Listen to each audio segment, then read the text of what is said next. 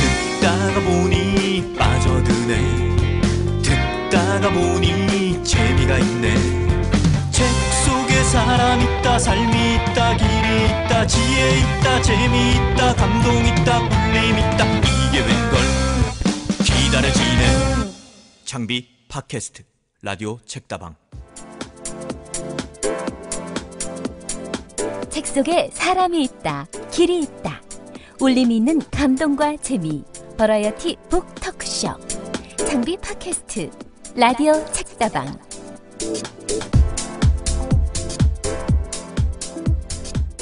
안녕하십니까 김두식입니다. 안녕하세요. 황정은입니다. 우리가 지금 1주년 특집 계속 진행하고 있었어요. 두 번째 네. 시간이라 오늘 황정은 작가가 역시 오프닝에도 같이 해주신 네, 제가 같이 있네요. 같이 오늘. 하니까 훨씬 마음 편하고 좋은 것 같아요. 네, 오늘은 이번만. 네, 예? 이번만. 아 이번만 모르겠는데 앞으로도 계속 하면 좋을 것 같은데요. 오늘 살아남았다 특집 2인가요? 아 살아남았다 지난주에 2. 이어서. 네 살아남았다 2. 오늘은 김조광수 변영주 감독님을 모시고 이제 영화 책 얘기를 나눠보려고 하는데요. 네. 역시 좀 강렬한 게스트죠 우리가. 그렇죠. 지난주에도 그랬는데 저희 너무 다시 시작하는 1년인 건데 너무 게스트팔이 초반부터 강력한 것이 우리 아닌가. 방송에 대해서 너무 게스트빨로 가는 거 아니냐 하는 아, 의견이 있죠. 늘 있죠. 늘 있죠. 저도 항상 그렇게. 근데 저는 남 얘기 듣는 거 되게 좋고요. 특히 네. 오늘은 제가 좋아하는 두분 네, 감독님들이라 저도 전부터 만나 뵙고 싶었던 분들이라서 가벼운 마음으로 편하게 네, 이 감독님들이 좋아하는 책, 영화, 책의 관계 이런 얘기 들어보면 될 것 같아요. 네 만나보시죠.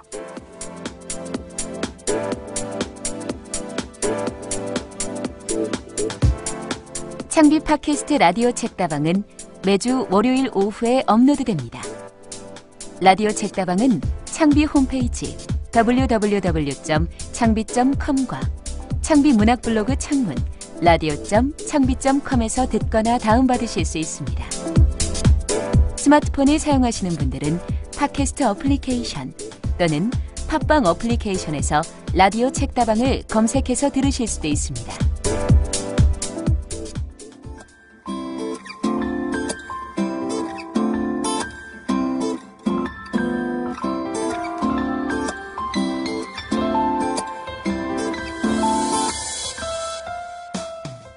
아, 오늘 미리 말씀드린 대로 기가 막히게 재밌는 게스트를 두 분 모셨는데요.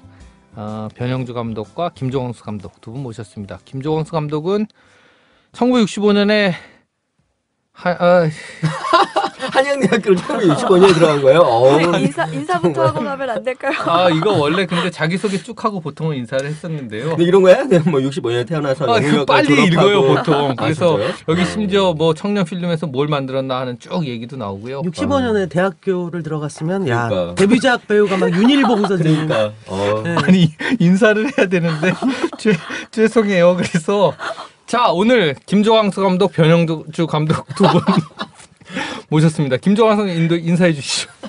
안녕하세요. 예, 저는 영화 만들고 있는 김종환수라고 합니다. 네, 변영주 감독님. 예 안녕하세요 변영주입니다 네. 되게 못하시네요 아니 오늘 좀 헤매는 것 같아요. 1주년 네. 기념이라 아니 변영주 감독을 보면서 되게 헤매시는 것좀 같은데 왜 쫄았, 그러세요? 쫄았어요. 아, 진짜요? 쫄았어요.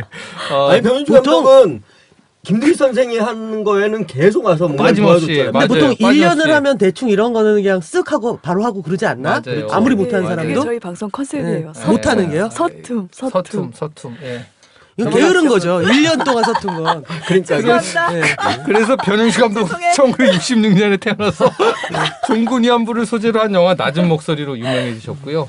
어, 최근에 화차로 대박을 내셨지만 그 전에 미래, 송환, 발레교수 같은 제가 아주 좋아하는 영화들을 계속 만드셨던 감독이고요. 김종암수 감독님은 사실은 제작자로 더 유명하시지만 영화 소년 소녀를 만나다 그 다음에 두 번의 결혼식과 한 번의 장례식을 또 감독으로 연출하셨고 여러 가지 상도 받으셨고요. 일일이 소개하지는 않겠습니다. 어, 두 네. 분다 너무 유명하신 분들이라 요즘 어떻게 지내시는지부터 간단하게 좀 말씀을 해주시겠어요, 김조광수 감독님? 아 저는 작년 9월에 그 청계천 광통교 앞에서 변윤주 감독님이 사회를 보신 민폐죠 결혼- 민폐 네, 결혼을 했잖아요. 결혼식. 예. 국가적인 행사였죠. 아 그게 국가적인 행사인가요? 네, 예. 저도 거기 한 5m 거리에 앉아서 감독님을 계속 보고 있었는데요. 그 네. 결혼식. 네, 결혼하고 요즘 뭐 신혼생활 잘 하고 있고요. 그리고 두 번째 장편 연출작 준비하느라고 시나리오 작업하고 있습니다. 결혼식은 굉장히 정말 박진감 넘쳤었죠. 감, 감, 변영주 감독님도 약간 그 오물 세례를 아 저는 그걸 잘 피했고요. 아, 잘. 나머지 그 이혜영, 김태용 감독이 좀 많이 맞았고. 그랬죠. 네. 네, 저는 불이나 이런 걸 보면 바로 피하는 편이기 때문에 너무 쏜살같이 쏜살같이 피하기 때문에 불을 보면 불이를 보면 쏜살같이 피하기 어, 때문에 그래서 안 맞으셨군요. 네, 한 방울도. 한 방울도. 어. 네. 뒤에서 갑자기 뛰어드셨었죠. 네, 맞아요. 네. 저 반대쪽 제가 서 있는 반대쪽에서 튀어오면서 음. 쫙 뿌려서 그때 그 합창단 그 네, 지보이스. 지보이스랑 김태형 이영 감독은 굉장히 홀딱 져줬고 맞아요. 전 누가 튀어 올라오는 걸 보는 순간 반대쪽으로 내려갔어요. 바로 아, 한거하지 빠르게. 않고 아, 한거하지 아니 않고 너무 쏜살같이 딱 네. 튀어가셔서 한 방울도 안 맞았는데 결과적으로 그를 제압한 거는 또 변영주 감독이에요. 아, 잡, 네. 잡으셨어요? 그거? 네. 아니요 제가 안 했어요. 남들이 진짜요? 다한 다음에 응. 무안해서 음. 이제 더 이상 이 사람이 한거할 수 없는 상태가 됐을 때 저도 그 옆에 서서 한 대 이렇게 쳤어요. 아, 이렇게 했는데 그게 그걸 본 네, 사람들은 네, 그럼요. 아 그를 네. 제압한 건 또 변형주가 또 이렇게 기억이 네. 되는. 그럼요. 80년대 운동권들이 원래 그 출구를 늘 보면서 움직이는 그럼요. 습관이 있잖아요. 우리가 어디 가든 막힌 데는 절대 안 가고 누구보다 빨리 도망가지만 결정적- 깃발은 한번 흔들고 도망가, 도망간다. 이런 거. 그렇지. 그러면 어, 또 어. 깃발을 흔들었다는 그 이미지 때문에 어 영주 누나는 요번에 깃발을 흔들었어. 뭐 이런 식으로 기억되는. 결정적으로 어디로 튀어야 되는지는 늘 생각하고 그럼요. 있는 그게 단상위에서도 그러셨던 거군요. 야, 언제나 어디서나 좀 제가 얼마 전에 예. 신혼이라 그래서 김종왕수 감독이 집들이를 했어요. 네. 네, 집들이를 했어. 그러니까 막 이런저런 얘기를 하다 뭐 이제 그때 사회를 봤던 이혜영 감독이랑 다들 뭐 음. 이제 그런 얘기를 했죠. 야 집들인데 뭐 저녁을 먹고 갈까 아니면 가서 먹을까? 야 저녁 먹고 가는 건 얘기가 아니다. 당연히 집들이에 네. 저녁을 준비했을 거 아니에요. 갔어요. 그때 밥- 밥을 주시더라고요. 음. 떡국. 어, 떡국 괜찮지 않아요? 괜찮아요. 예. 거 봐요. 야 잡채는 있어야 되는 거 아니야? 집들이면 아, 잡채. 딱 떡국만? 떡국과 어. 김치. 떡국 아니, 아니요 전도 붙이고 뭐 나름 좀 했는데 이분들이 생각하는 집들이의 그, 그 음식의 내용하고 전혀 달랐던 그러니까 것 같아요. 앉아서 계속 잡채와 찜과 뭐 이런 거들은 있어야 되는 거잖아요. 그래서 어. 되게 당혹스러웠었고 음, 맞아요. 요새 어, 어. 집으로 부르는 게 대단한 거예요. 아무도 안 부르는 아니 근데 어. 재밌는 거는요 그날이 처음 한 집들이었어요. 그래서 우리가 그때 이분들의 반응을 본다면 아 이거 아니구나 이렇게 하면 절대 안 되겠구나 해서 최근에 이제 그 문화연대하고 이렇게 우리- 결혼식 준비했던 실무하시는 분들 다른 집들이를 했거든요. 그래서 그분들 할 때는 이분들? 그러니까 이분들 음식의 한 두세 배를 저희가 어. 준비를 내가 했어요. 무슨 당신 인생의 오픈 베타야? 오픈 베타. 오픈 베타. 그래서 아. 정말 제가 최근에 좀 두려움에 떨었어요. 음. 예, 어디 가서 그 집들이라고 갔더니 우리 형편없이 대, 대접했다 이런 얘기 하지 않을까 했는데 결국 오늘 우리 그날 정말 추웠거든요. 결혼식 날이요. 네, 아니요, 아니요. 아, 집들이 날. 날. 결혼식은 기억도 안 나요. 남의 그- 남의 결혼식인데 그걸 어떻게 기억해? 아 근데 전 되게 감동적이었어요 그날 결혼식. 왜요? 그냥 그 두 분 되게 고맙기도 하고요. 그, 그 뿌리신 분하고 갑자기 피켓 아, 들고 피켓. 뛰어든 분 맞아요. 있잖아요. 사실 좀 그냥 음, 뭐 밋밋하다 그러긴 뭐하지만 막 화제가 되기에는 약간 2% 부족할 수도 있었겠다 싶었는데 그렇죠. 그분들이 딱 채워 그분들이 막 뛰어 들어오니까 저도 막 흥분해가지고 막 일어나가지고 막 이렇게 어. 막 손도 사람들이 저한테 박수도 연출한 거냐고. 아, 그분들도 이렇게 그 연기자냐. 그래서 연기자 아니다. 표정을 보면 그 연기로 나올 수 있는 표정은 아니었어요 그분들. 근데 되게 감동적이었던 아 그냥 첫 번째 공개적인 결혼식 다운 어, 행사였던 것 같아서 저는 되게 좋았었고요. 예. 결혼 혼인 신고는 안 받아주는 거죠 지금? 지금 일단 서대문 구청에서는 불소리 소- 수리하지 않겠다 해서 불소리 통보서를 보냈고요 음, 그래서 그거에 이제 불복하는 소송을 제기하려고 지금 변- 변호사들이 회의하고 있어요. 그래서 네, 어, 해야 시점에. 어떤 어떤 방식으로 할 건지. 음, 진짜 대박은 이러다가 둘이 이혼하는 건데. 혼인 신고도 하기 전에 어, 어. 지금 진짜 대박은 지금 변호사들이 어. 저희한테 이 사랑이 식어버리는 어, 건데. 이게 무슨 판례가 나오기 전까지 헤어지면 안 된다. 절대 안 된다. 중요한 거 중요한 예. 거죠. 예. 어. 당사자가 사라지면 의미가 없잖아요. 아니, 결혼식 날 그 구호 진짜 재밌었어요. 무슨 아 뭐였더라? 어, 며느리가 이 지옥? 아니 이 아, 지옥을 아. 지옥을 뭐 맛보게 하라. 동생 어. 동성애자들에게도 이 지옥을 맛보게 그렇지. 하, 하자고. 그리고 음. 밑에 뭐 무슨 기혼자 기혼자 협회. 협회. 아 그거 진짜 아. 재밌어. 어 그런데 정말 그 위트가 넘치는. 그, 훌륭하다. 그 위트 넘치잖아요. 근데 JTBC에서는 그 방송을 할 때, 예. 그 기혼자 협회를 뺑, 이렇게 모자이크로 싹 사라지게 한 거예요. 그러면은 진짜로 지옥불에 가라라는 느낌이잖아요. 어, 그거 아니었는데. 네. 네. 그러니까 이 종편 정말 문제 많더라고요. 어. 저는 그, 그 너무 많은 걸 얘기하고 있는 한마디였어요. 이 지옥을 맛보게 하라는. 음. 예, 그게 되게 즐거웠어요. 근데 어쨌든 거기 기혼자 협회가 있어야 그게 사는 거잖아요. 그치, 네, 그치. 진심이 드러나는 그치. 거고. 음, 변영주 감독님 근황도 좀 듣고 싶은데요. 저는 변영주 감독님 김주익 선생님 북콘서트 자리에서 처음 뵀거든요. 예, 예, 예. 그때 사회를 엄청 잘 보시더라고요. 그날도 제가 다 했죠. 네, 네, 정말 제가 다 했어요. 살리셨죠. 제가 영웅 마음 방송을 사회자죠. 살리는데 음. 맞아. 저 그때 그 두식 선생님의 그 소심한 그 포즈와 그 목소리를 잊을 수가 없는. 아, 변용주 완전- 앞에서 한, 한없이 작아지는. 그- 완전 쫄아가지고, 예. 너무 그런 모습을 뵙고. 뭐 지금 시나리오 작업하고 있고요. 네. 얌전히. 네. 아, 그 변현주 감독님은 지금 작업하는 게 두 개잖아요. 네. 하나는 미야베 미유키의 이유, 네. 하나는 그 저기 뭐그 누구지 강풀의 조명 가게. 네. 어떻게 이렇게 잘하세요? 오, 아 저는 변영주 감독님 팬이거든요. 아, 네. 그럼 저 같이 영화 잔 얘기 나눈 거야? 아, 제작자이기도 한데 어, 되게 웃겨. 뭐야 같이 하는 사람 있는데 왜 그래? 어. 근데 어쨌든 그 둘 중에 뭘 먼저 어느 시나리오 거예요? 쓰고 계신 거예요? 아, 둘 다 같이 쓰- 쓰고 있고요. 어. 음. 뭐 어, 떻게 될지는 잘 모르겠고 일단 쓰고 보려고 하고 있고. 어. 네, 그러고 있어요. 와 그럼 둘 중에 뭐가 먼저일지는 이제 시나리오나 캐스팅에 따라서 딱 달라지는 거겠네요. 그쵸 시나리오를 일단 잘 써야 음. 되는 거니까. 화채 때도 뭐 20공가를 했다 그런 거 아니에요? 계속 고치면서 요번에 이제 안 그러려고 어, 이제 그래. 네, 너무 너무 진 못- 빼면. 네, 좀 아, 몰라요. 나 그러니까 시나리오 썼는데 여기 왜 온 거야? 아니면 시나리오 쓰다가 중간에 쉬어야죠. 한 번씩. 쉬어야. 예. 저도 지금은 제가 안 쓰고 최, 최근까지 제가 썼거든요. 그 음. 지금은 이제 작가한테 넘겨놓은 상태예요. 그래서 이제 작가에게 매, 번 확인하는 어, 얼마 썼어? 썼어? 뭐 이 장면은 이렇게 써주는 게 좋을 것 같은데 뭐 이러면서 이렇게 아. 예, 주- 지금 이제 아주 홀가분한 상태로 쪼고 있는 중이죠. 모차르트에서 살리에를 그렇죠, 입장을 그렇죠. 바꾸신 거죠. 네, 아, 네. 그건 아주 좋은. 예. 네. 두 분, 어, 워낙 여러 가지 이슈로 유명하시지만 오늘은 책과 영화 얘기를 중심으로 풀어가려고 하고요. 평소에 네. 책을 많이 얼마나 읽으시는지, 어, 감독으로서 책을 읽느냐 아니면 단순한 독자로 책을 즐기는가 뭐 이런 질문부터 얘기를 시작해 봤으면 네. 좋겠거든요. 두분 다 책 많이 읽는 걸로 유명 하신 어 거잖아요. 그런가요? 네. 병관님 책 많이 읽으세요? 많이 있는 게 저는 그러니까 막 읽죠. 막. 네, 어. 막 어. 읽죠. 네.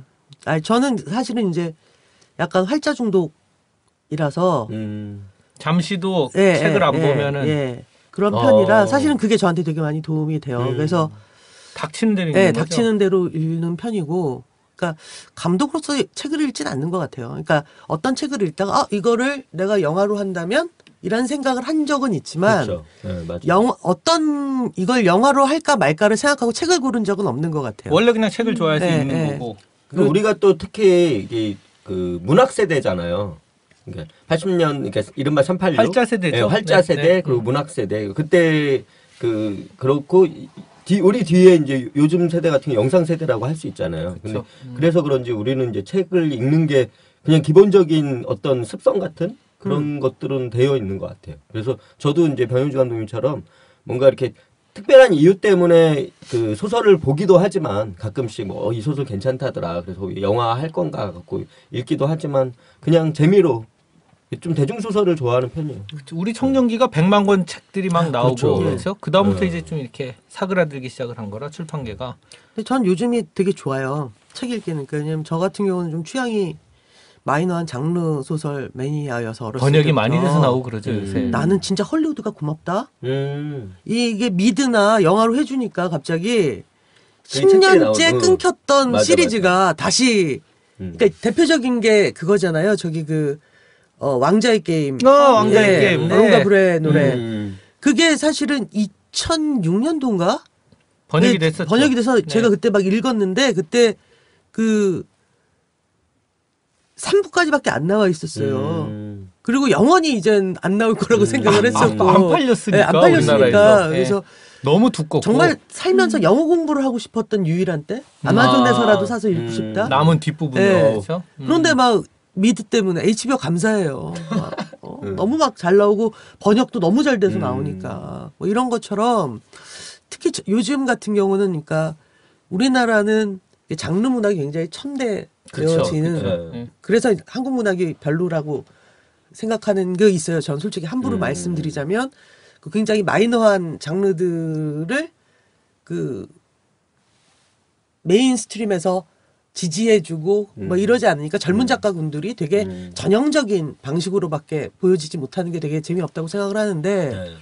근데 뭐 SF나 아니면 판타지나 뭐 이런 문학들이 그 우리 같은 경우 는 되게 마이너고 나오다 말고 뭐 이러던 것들이 미드 덕분에 이를테면 미드나 헐리우드 영화들 덕분에 음. 또 어벤져스 때문에 마블 네, 코믹스가 맞아요. 다시 음. 재조명 받는 것처럼 음. 그러면서 다시 이렇게 오히려 영상물이 되게 사장되었던 어떤 문학을 이렇게 어, 위로 살려주는? 올리는데 음. 막 그럴 때 사실은 지금 온라인에서 활동하고 있는 또는 대여소 그 용으로 발- 팔리고 있는 어린 젊은 음. 이 판타지 무협 작가들에게 좀 관심을 가져서 음. 그 이럴 때 우리나라에 이 정도밖에 없잖아요. 근데 젊은 친구들 중에 그런 식으로 네. 그 자기 문학성을 갖게 된다면 네. 얼마나 좋을 거라는 생각? 근데 이제 너무 그 이 출판단지 쪽에서 관심 없어 하니까 음. 그쪽을. 음. 그러니까 외국에 있는 어떤 장르 소설을 가, 가져오는 것도 고마운 일이지만 음. 그런 쪽에 관심을 갖고 있는 친구들 왕자의 게임 같은 네. 거 되게 선구적으로 읽으신 거죠, 사실. 드라마 나오기 전에. 저는 이제 책을 좀 읽고 있거든요. 드라마 재밌게 보고. 아 그래서 이제 음. 저는 드라마를 보면서 이제 멘붕에 빠지지 않았던 어차피 어. 다 죽는 걸 알고 있었기 때문에 아, 저는 계속 보다가 나오는 인물들이 어 이거 왜 네. 주, 어, 주인공이 계속 죽어. 음. 계속 죽는데 네. 어, 아니 이제는 더 죽을 사람이 없을 것 같은데도 네. 정말 중요한 주인공들만 계속 죽여 나가더라고요. 음. 정말 음, 아직 훨, 훨씬 많이 남아 있어요. 아직 죽어야 할 사람들이 예, 예. 어 감독님 말씀은 음. 어, 외국 판타지에 대한 관심이나 어떤 그런 흥행의 결과가 음. 한국의 판타지, 한국 판타지 작가들의 어떤 부흥하고는 연결이 되지 않는 것 같다는 말씀이신 그렇죠. 거죠? 그러니까 저는 가끔 되게 이제 한 저도 한 15년 네. 전부터 이렇게 지금 온라인 사이트에 그런 어린 친구들이 쓰는 그 판타지나 네. 무협 사이트들이 있어요. 음. 어떤 것들은 굉장히 그 완성도가 낮죠. 음. 그리고 필력도 되게 낮아요. 음. 어떤 것들은. 네. 근데 그 중에 굉장히 보석 같은 친구들이 있거든요. 음. 근데 이 친구들이 굉장히 그 산업 안에서, 그러니까 마이너한 산업 안에서 끊임없이 이렇게 그 계속적으로 책을 써내려 간단 말이에요. 음. 근데 그거 말고 이제 문학 안에서 이 친구들을 굉장히 그 응원해주고 네. 이를테면 그 문학적 그 우산 아래서 네.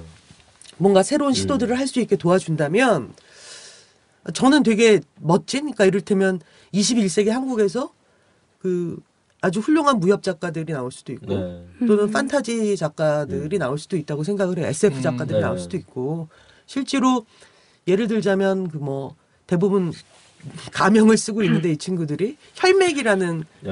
그 3부작 소설이 있어요. 네. 온라인으로만 출간이 네. 되고 오. 저는 깜짝 그러니까 뭐냐면 그 이야기를 구성하는 능력 네. 음. 그 다음에 이 어떤 미래 세계에 대한 그 암울하지만 굉장히 그 또는 비과학적인 네. 부분도 있지만 어떤 그 비전 같은 네. 거를 보여주는 어. 되게 훌륭한 책들을 쓰는 친구들이 있거든요. 음. 또는 그 되게 뻔한 얘기 같지만 뭐그 이거예요? 타사우프 저 예예예 삶에 예, 예. 그, 어. 저 삼- 3부 9건이 완결됐다. 9건이네. 3건이 아니라 3부라 9건. 아, 그러니까 1부가 10건, 2부가 9건, 아마 3부가 9건일 아, 거예요. 그렇지. 네, 네. 대하, 대하 소설이에요. 진짜. 네, 근데 네. 뭐 그런 책도 그렇고 아마 어. 근데 평가를 못 받죠. 그리고 아마 평가를 받기 힘든 부분도 있을 거예요. 아직은 되게 그 문학적이냐라고 했을 때 음, 저는 네. 문학적이다라고 생각하지만 그렇게 동의 안 하실 네, 분도 네, 있을 네. 테니까. 그러니까 메이저 시장에서 이 사람들을 키우거나 주목하지를 않는 문제가. 있다는 네, 거예요. 또는 그들이 이를테면 문학의 바깥에서부터 출발한 것처럼 보이는 이 친구들이지만 사실은 문학 안에서 네. 음. 이를테면 이 혈맹만 보더라도 이를테면 로마 제국 흥망사도 보이고 어. 또는 뭐 다나카 유시키로부터 영향받은 느낌도 있고 어. 뭐 이런 게 있거든요. 왕자의 네. 게임 비슷한 예. 거네요. 네. 그러니까 그런 것들 이런 친구들에게 한국적 문학, 한국 문학의 우산을 씌워준다는 건이 음. 음. 친구들의 책을 출간해 주세요가 아니라 음. 이 친구들에게 어떤 작가적인 자기 고민들을 함께 열어주고 네. 뭐 이런 거. 그러니까 옛날에 음. 한 10년 전에 그런 얘기를 했었어요. 어디 도서관이랑 얘기를 하다가 음. 되게 젊은 친구들이 많으니까 뭐 여름이나 겨울에 문학 캠프를 이 친구들을 대상으로 한번 해보는 건 어떠냐. 네. 음. 음. 그래서 먼저 손을 뻗어서 네. 이 친구들이 아마 궁금해할 거다. 어떻게 해야 좋은 글을 네. 쓸까? 음. 이건 모든 창작자 어떤 종류의 창작자도 꾸는 꿈이잖아요. 네. 좋은 걸 쓰고 만들고 싶다는 거. 그렇죠. 그러니까 좋은 걸 만들 수 있는 기회를 좀 제공하는 맵을 거죠. 네. 맵을 보여주고 음, 음. 그러면서 그 친구들 중에 어떤 친구들의 책을 출간할 수도 있고 네. 그러면 그러니까 장르 문학이 좋은 건 이것이 그 되게 장르적이고 전통 어떤 면에서 전통적이고 어떤 면에서 굉장히 대중적이기 때문에 사실은 어려운 사회에 관한 얘기, 굉장히 첨예한 대립의 얘기를 굉장히 관, 대중들이 쉽고 관심을 갖고 보게 만들 수 있다는 되게 좋은 장점이 네. 있거든요.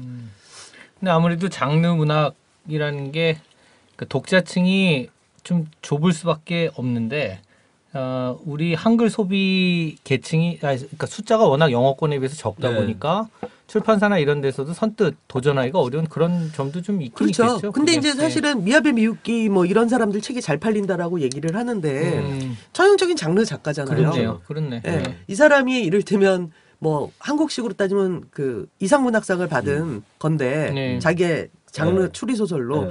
그, 그 다음부터 이 사람이 갑자기 어 저는 작가로서 안 그러잖아요. 네. 계속 뭐 에도 시대에 음. 관한 되게 재밌는 그 귀신 얘기도 쓰고. 음, 근데 사실은 그게 그러면서 사람들이 읽는다는 것에 재미를 음, 음. 어렸을 때부터 갖게 되니까 음. 두터워지는 거죠.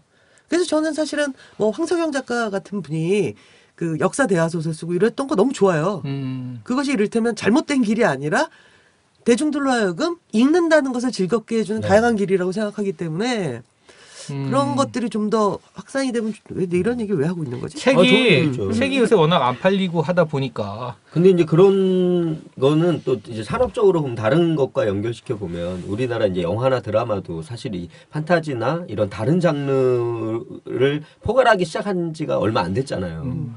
이제 그 이제 무- 그거는 이제 문학 지금 문학만의 문제는 아닌 것 같은 거죠. 그러니까 우리가 이제 이를테면 영화나 드라마에서도 이를테면 멜로 중심인 시, 시절이 있었잖아요. 막 90년대까지만 판타지를 만들려면 돈이 많이 들어서 그런 거 아니에요? 그런 것도 있지만 그러니까 돈 때문이기도 하지만 사실은 이제 그 표현할 수 있는 그러니까 표현력의 문제도 같이 좀 음. 고민해봐야 된다. 왜냐면 어렸을 때부터 그런 문화적 배경들이 너무 없었던 음. 그런 시절이었던 거죠. 네. 그래서 지금 이제 영화나 드라마에서 이제 다른 판타지 판타지나 SF 뭐 이런 다른 장르를 포괄하는 것들이 좀 이제 이게 시작되고 있으니까 저는 문학도 이제는 좀 가능성이 있지 않을까. 좀 더 다양하게. 예? 예, 예. 네. 읽는 이제 독자들도 많아질 수도 있고. 이 스크린셀러라고 하잖아요. 왜? 네. 그 영화화된 책이 독자들의 관심을 확 끌어가지고 나중에 영화 때문에 책이 더 잘 팔리게 되는. 근데 네. 김조광수 감독님도 조선 명탐정 원래 이 김탁한 선생님 소설이죠. 네, 열려문의 비밀. 제작을 하셨었고 네. 변영주 감독님은 화차가 이 미야베 미유키 그 같은 제목 소설이었는데 스크린셀러가 나오는 거 뭐 어떤 건가요? 긍정적인 건가요? 좋은 일인가요? 아니면 뭐 흔한 일- 일인 건가요? 어떻게 생각하세요? 고마운 거죠. 그러니까 이를테면 내 뭐 내 영화를 보고 음. 이것의 원작이 된 소설에도 관심을 가져서 그것도 읽었다. 감독으로서는 고마운 어, 일이다. 되게 고마운 네. 일이죠. 음. 되게 고마운 일이고 왜냐하면 우리가 그것을 영화로 만든 이유는 그 책을 읽고 좋아서니까. 음. 음. 음. 내가 좋아하는 걸 남도 좋아하는 건 좋잖아요. 근데 특이한 건 그동안은 보통은 왜 우리들의 행복한 시간이나 도가니나 뭐 완득이나 은교 이런 게 다 책으로도 책으로, 그렇죠. 먼저 음. 많이 음. 알려진 것들이 네. 책의 힘을 빌어서 영화가 장사가 되는 쪽이었던 그렇죠. 거잖아요. 근데 네. 화차도 그렇고 아, 이 몰라 김탁한 선생님 들으시면 뭐라 할지 모르겠죠. 어쨌든 조선 명탐정도 그렇고 김탁한 선생님 소설은 워낙 또 그렇죠. 이게 워낙, 어떻게 보면 네. 되게 그 아까 말한 것 중에서 그 정말 몇안 되는 장르 문학 그렇죠. 그렇죠. 네. 매니아도 문학적 있고, 완성도를 보여주시는 있고. 분이기 네. 때문에 음. 어, 그러니까, 뱅크 너무 예. 좋던데 책 뱅크. 아 그래요? 네. 음. 근데 저는 뭐 열려문의 비밀하고 이제 손면탐정은 좀 다, 다른 케이스 같고 음. 그거는 이제 책도 워낙 많이 팔렸으니까. 근데 이제 화차 같은 경우에는 미야베 미유키의 매니아층은 좀 있었지만 대중 소설은 아니었잖아요 우리나라에서는. 맞아요. 맞아요. 예, 근데 음. 이제 영화를 보고 아 원작이 보고 싶다. 특히 이제 그게 우리나라 원작이 아니라니까. 어 그럼 일본에서 저걸 이렇게 저 영화를 문학으로 어떻게 표현했을까 궁금해지는 사람들이 많았을 것 음. 같아요. 출판사에서 막 감독님한테 밥도 사고 막 이런 거 아닌가요? 아니요, 안 그랬어요. 아 그런 거 없어요. 예. 아니 저는 그 책이 네. 시아 출판사라는 데서 나온 책으로 사서 네. 봤거든요. 네. 그게 인생을 훔친 여자. 음. 네, 화차였는데 제목이 네. 화차였어요. 네, 그러니까 원래는 인생을 훔친 여자라는 아, 이름으로? 나왔었고 그다음에 예전에. 화차라고. 나왔었고. 근데 그 시아 출판사에서 나온 책이 내용이 생략된 채로 번역이 네, 돼서. 나왔다고 하더라고요. 네. 그런데 감독님 영화 화차 개봉하고 하면서 그거 다 개봉할 즈음에 문학동네에서 예, 문학동네에서 문학동네. 이제 네, 맞아요. 네. 저도 사실 영화 재밌게 보고 책을 샀어요. 안, 읽, 음. 끝내 안 읽었지만 두껍죠. 네, 네. 네. 상당히 두껍죠 근데 책이. 그냥 뭐 굉장히 사실 출판사 입장에서는 일단 제가 벌써 한건산 거고 음. 도움이 음. 많이 됐을 텐데. 아 아니에요. 뭐 사실은 그게 이제 제가 고맙죠. 예. 관객들에게 제가 고맙죠. 예. 근데 예전에 이제 문학 중심의 세대였을 때, 이 활자 세대, 문학 세대였을 때는 문학으로 이렇게 베스트셀러가 되면 그것을 이제 영화해서 이제 아까 말씀하신 것처럼 문학이 먼저 잘 팔리고 그 다음에 영화로 간 다음에 요즘은 음. 반대되는 영상 세대가 영화를 먼저 본 다음에 아 맞아요. 저것에 원작이 있다면 원작도 궁금하다 해서 음. 이제 읽게 되는 그렇게 좀 세대가 이렇게 바뀐 것에 이제 음. 예. 근데 제가 제가 소설가라면 예. 변영주 감독님한테 굉장히 감사할 것 같아요. 내가 약간 썼는데 어, 한국에서는 잘 알려지지 않은 책이 있었는데 영화가 먼저 만들어지고 아마 그다음에 예, 그 미야메미 유키 선생님은 그렇게 생각하시는 것 같아요. 그래서 그 다음 영화, 영화도 이유 같은 경우에 아, 변영주 감독님이 그렇지. 한다고 했을 때, 오 당연히 변영주가 하면 그렇지. 좋지 이렇게 음. 생각하셨을 아, 거고. 그러니구나. 그래서 어. 이후에 국내 판권 선점권이라고 해야 되나? 그걸 아. 저희한테 주셨어요. 아? 너희가 아. 먼저 하고 싶으면 너희가 하고 아니면 음. 딴 쪽에도 전작을? 예, 아니 전작 이유 아니, 이유 이유라는 이유를. 작품을 네. 음. 오, 음. 그러니까요. 그이 미야메미 유키 선생 입장에서는 당연히 그렇겠죠. 그렇지. 예. 네.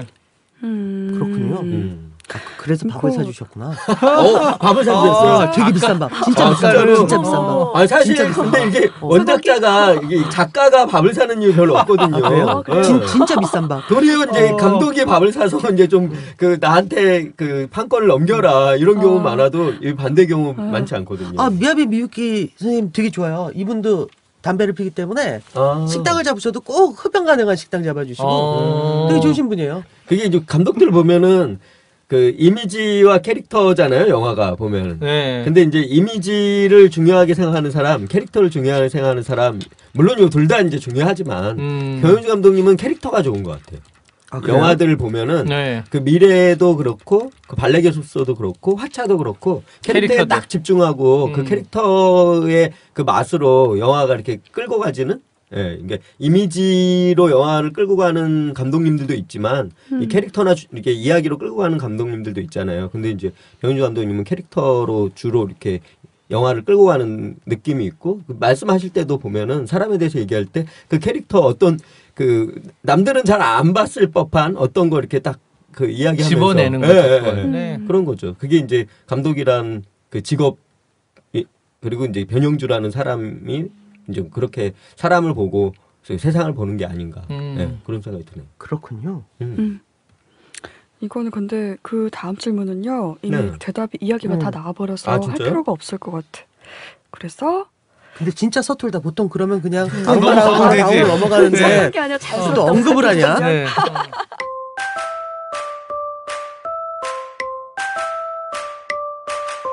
책 속에 사람이 있다. 길이 있다. 울림이 있는 감동과 재미. 버라이어티 북토크쇼 창비 팟캐스트 라디오 책다방.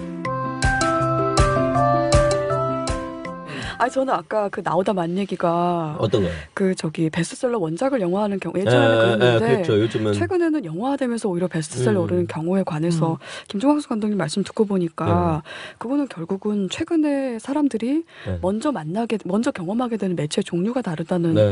생각이 들기도 하고 근데 한편으로는 그런 식의 그 매체 경험이 저는 일단은 창작을 하는 입장이므로 네. 그 소설을 생각을 할 때 원작으로 소설 생각을 할때 네. 소설에서 서사를 되게 중요하게 여기는 흐름이 이렇게 형성이 되는 건 아닌가 뭐 이런 음. 쓸데기 없는 걱정도 하게 되고 음. 근데 음, 그렇죠. 근데 네. 이제 사실은 그거 그렇지만은 또 아는 것이 예를 들어서 그 서사에 집중된 소설이 아니어도 그것의 어떤 것들을 보고 영화로 서사를 만들어냈을 때 음. 분명히 그것은 원작이 있는 거고 음. 그러니까 이거를 오히려 그렇게 되게 이렇게 후지게 보는 게 더 편하다고 생각하는데 보통 소설 같은 경우에 10만 권 정도 팔렸다고 많이 팔린 거잖아요. 그렇죠. 그렇죠. 네. 굉장히 많이 팔린 네. 거잖아요. 음. 근데 저희는 예를 들어, 그러니까 예를 들어서 화차가 20만 명이 예전에 사서 봤다. 근데 어찌됐건 저희는 몇백만 명이 영화를 보잖아요. 네. 그렇죠. 그러니까 그게 갑자기 그 숫자에서 확산이 돼 버리니까 그 아무도 안 봤던 책을 영화가 살려주는 게 아니라 음. 그 현재 출판 문화 출판 산업에서 가지고 있는 독자층 보다 보다 그 대중적인 독자층을 아니, 대중적인 관객층을 갖고 네. 있다 보니 책을 잘 안 읽는 사람이 영화를 보고 책을 사게 되는 음. 것 때문에 확산되어지는 게 있는 거지. 음. 일단 그것이 애초에 문학이 관심이 없거나 그 문학에 음. 팬이 없었던 것은 아니라고 생각해요. 그러니까 화차의 경우에도 뭐 한 5만에서 그 10만 사이에 굉장히 화차를 사랑해서 그 아까 말씀하신 예전 출판사의 책을 아직도 버리지 않고 음. 좋아하는 분들이 있거든요. 네. 음. 뭐 그분들이 이제 96.2%가 영화 화차를 너무 싫어하고 아 와, 그래요? 원작을 버려놨다고. 어. 네. 거예요. 아니 근데 이제 그런 것조차도 난 상관이 없었어요. 음, 맞아요. 그리고 그래야 된다. 적어도 그리고 네, 사실은 문학의 정 팬이라면 그래야 된다고 생각해요. 정 감독님 자신이 네. 그런 사람 중에 하나인 거잖아요. 그렇죠. 아무도 안 볼 때 그 책 사보고 아까 음, 무슨 음, 저 음. 왕자의 게임도 그렇고 사보고 집에다 책 놔두고 음. 가장 먼저 읽고 그리고 거기에서 어떤 어떤 어, 어떤 느낌을 받아서 그걸 영화로 만들고 그 중에 네. 한 사람인 예, 거잖아요. 그래서 네. 사실은 그, 그 원작의 독자들이 영화에 대해서 배타적인 것이 전 당연하다고 생각하고, 음. 음. 어, 이- 원작보다 너무 별로야. 라고 해도 저는 문제가 되지 않는다. 음. 왜냐, 왜냐하면 그것은 독자의 반응이니까. 저도 음. 독자의 반응으로 영화를 만든 거고. 음. 그건 그것을 고민하게 되는 순간 영화가 흔들리게 되는 것 같고, 오히려. 음. 그렇죠. 그래요? 원작에 네. 충실한 영화를 보고 싶지는 않잖아요, 사실. 음. 그렇죠. 네. 그- 아 근데 그런 경우도 그 뭐- 뭐랄까 관, 관객 입장에서는 좀 네. 그런 생각도 하긴 하거든요. 그럼요. 이 영화가 음. 얼마나 원작을 충실하게 재현할 수 있는가. 음. 예를 들어 제가 최근에 본 영화 중에 네. 얀 마텔 원작의 파이 이야기 같은 경우는 네. 저는 그, 이, 이 영화가 어떻게 원작을 뛰어넘느냐 그거 관심 있는 게 아니고 이걸 가는 이 원작을 어떻게 아, 어떻게 가능해? 했을까? 라는 생각을 어, 아, 하면서 가능해. 어떻게 했을까 그게 좀 궁금했었는데 근데 이제 그, 문학이라는 것은 자기가 상상하면서 그 소설을 읽게 되잖아요. 그래서 똑같은 소설이지만 읽는 사람에 음. 따라서 정말 다른 상상을 할 수 있게 돼 있잖아요. 정말 다른 그쵸. 영화가 또 나올 수 예, 있는 예, 예. 그래서 그러니까요. 음. 그래서 저는 문학을 그 사랑하시는 분들이 문학이 영화화 됐을 때 내가 상상한 것 을 어떻게 가- 그 영화 감독이 담았을까로 하면 그 음. 감독은 정말 어떻게 보면은 그 별거 아닌 감독이 되는 거죠. 그러니까 음. 내가 상상한 건 이것이었는데 그것을 뛰어넘는 걸 그 만약에 감독이 보여주면 그 영화가 정말 좋게 느껴질 것이 분명하기 때문에 음. 내가 상상한 것과 이 감독이 상상한 것 그 차이를 그 확인하기 위해서 가서 보고 좋아하는 좀 음. 그런 쪽으로 기대하셨으면 좋겠어요. 음. 저는 기본적으로 영화를 원작인 저는 지금 음. 그 영- 원작이는 영화를 계속 만들고 있는데 음. 만 준비를 하고 있고 독자를 한 번도 생각해 본 적은 없는 것 같아요. 음. 어. 관객을 아니면 독자를 독자를 그러니까. 뭐냐면 언제나 시나리오는 독자. 음. 이 책을 읽은 적이 없는 사람들 음. 생각을 해요. 음. 새로운 작업인 네. 거죠. 그러니까 네. 새로운. 그래도 원작이 있으니까 원작이 일단 있, 있기는 있잖아요. 그런데 그걸 가지고 영화를 만들었을 때 어떤 원작에 대한 부담이 있, 있기는 할 것 같아요. 그런 건 없고요. 없으세요? 네, 음. 없고 이제 그 고민은 해요.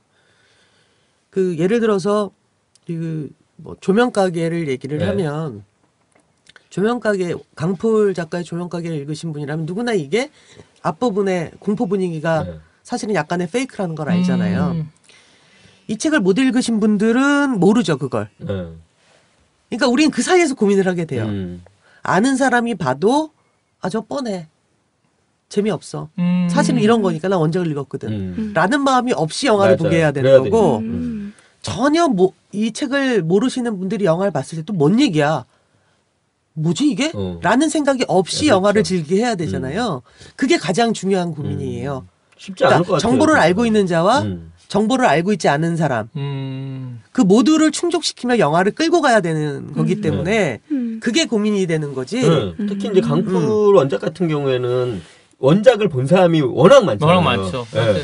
그러니까 이제 미야베 미유키 선생님 책은 원작을 본 사람이 아주 많지는 않기 때문에 그 고민이 좀 덜어질 텐데 강풀의 원작을 영화하는 사람들 진짜 고민이 많을 거예요. 그렇죠. 음, 뭘 기준으로 고르세요? 그래서 고를 때는 이런 원작 있는 작품 중에 내가 이걸 영화 만들어야 되겠다는 느낌이 오는 거는 그때마다 다른데요. 화차의 경우에는 사실은 되게 당대적일 수 있는 얘기로 변화될 음. 수 있다고 생각을 했어요. 네. 음. 그러니까 예를 들어서 카드 파산, 뭐, 뭐 개인 파산, 연체. 전 이것 자체가 2010년대 되게 올드한 얘기라고 생각을 했어요. 왜냐하면 이미 그건 어쩌면 IMF 때 나와야 되는 얘기인 거죠. 네. 음. 그건 20세기 얘기잖아요. 음. 지, 지금 카드 연체가 문제가 되지 않거나 개인 파산이 문제가 되지 않는다고 얘기하는 건 네, 아니에요. 그렇죠. 음. 다만 이미 다 알, 네. 사람들이 네. 그걸 알고 있었고. 네.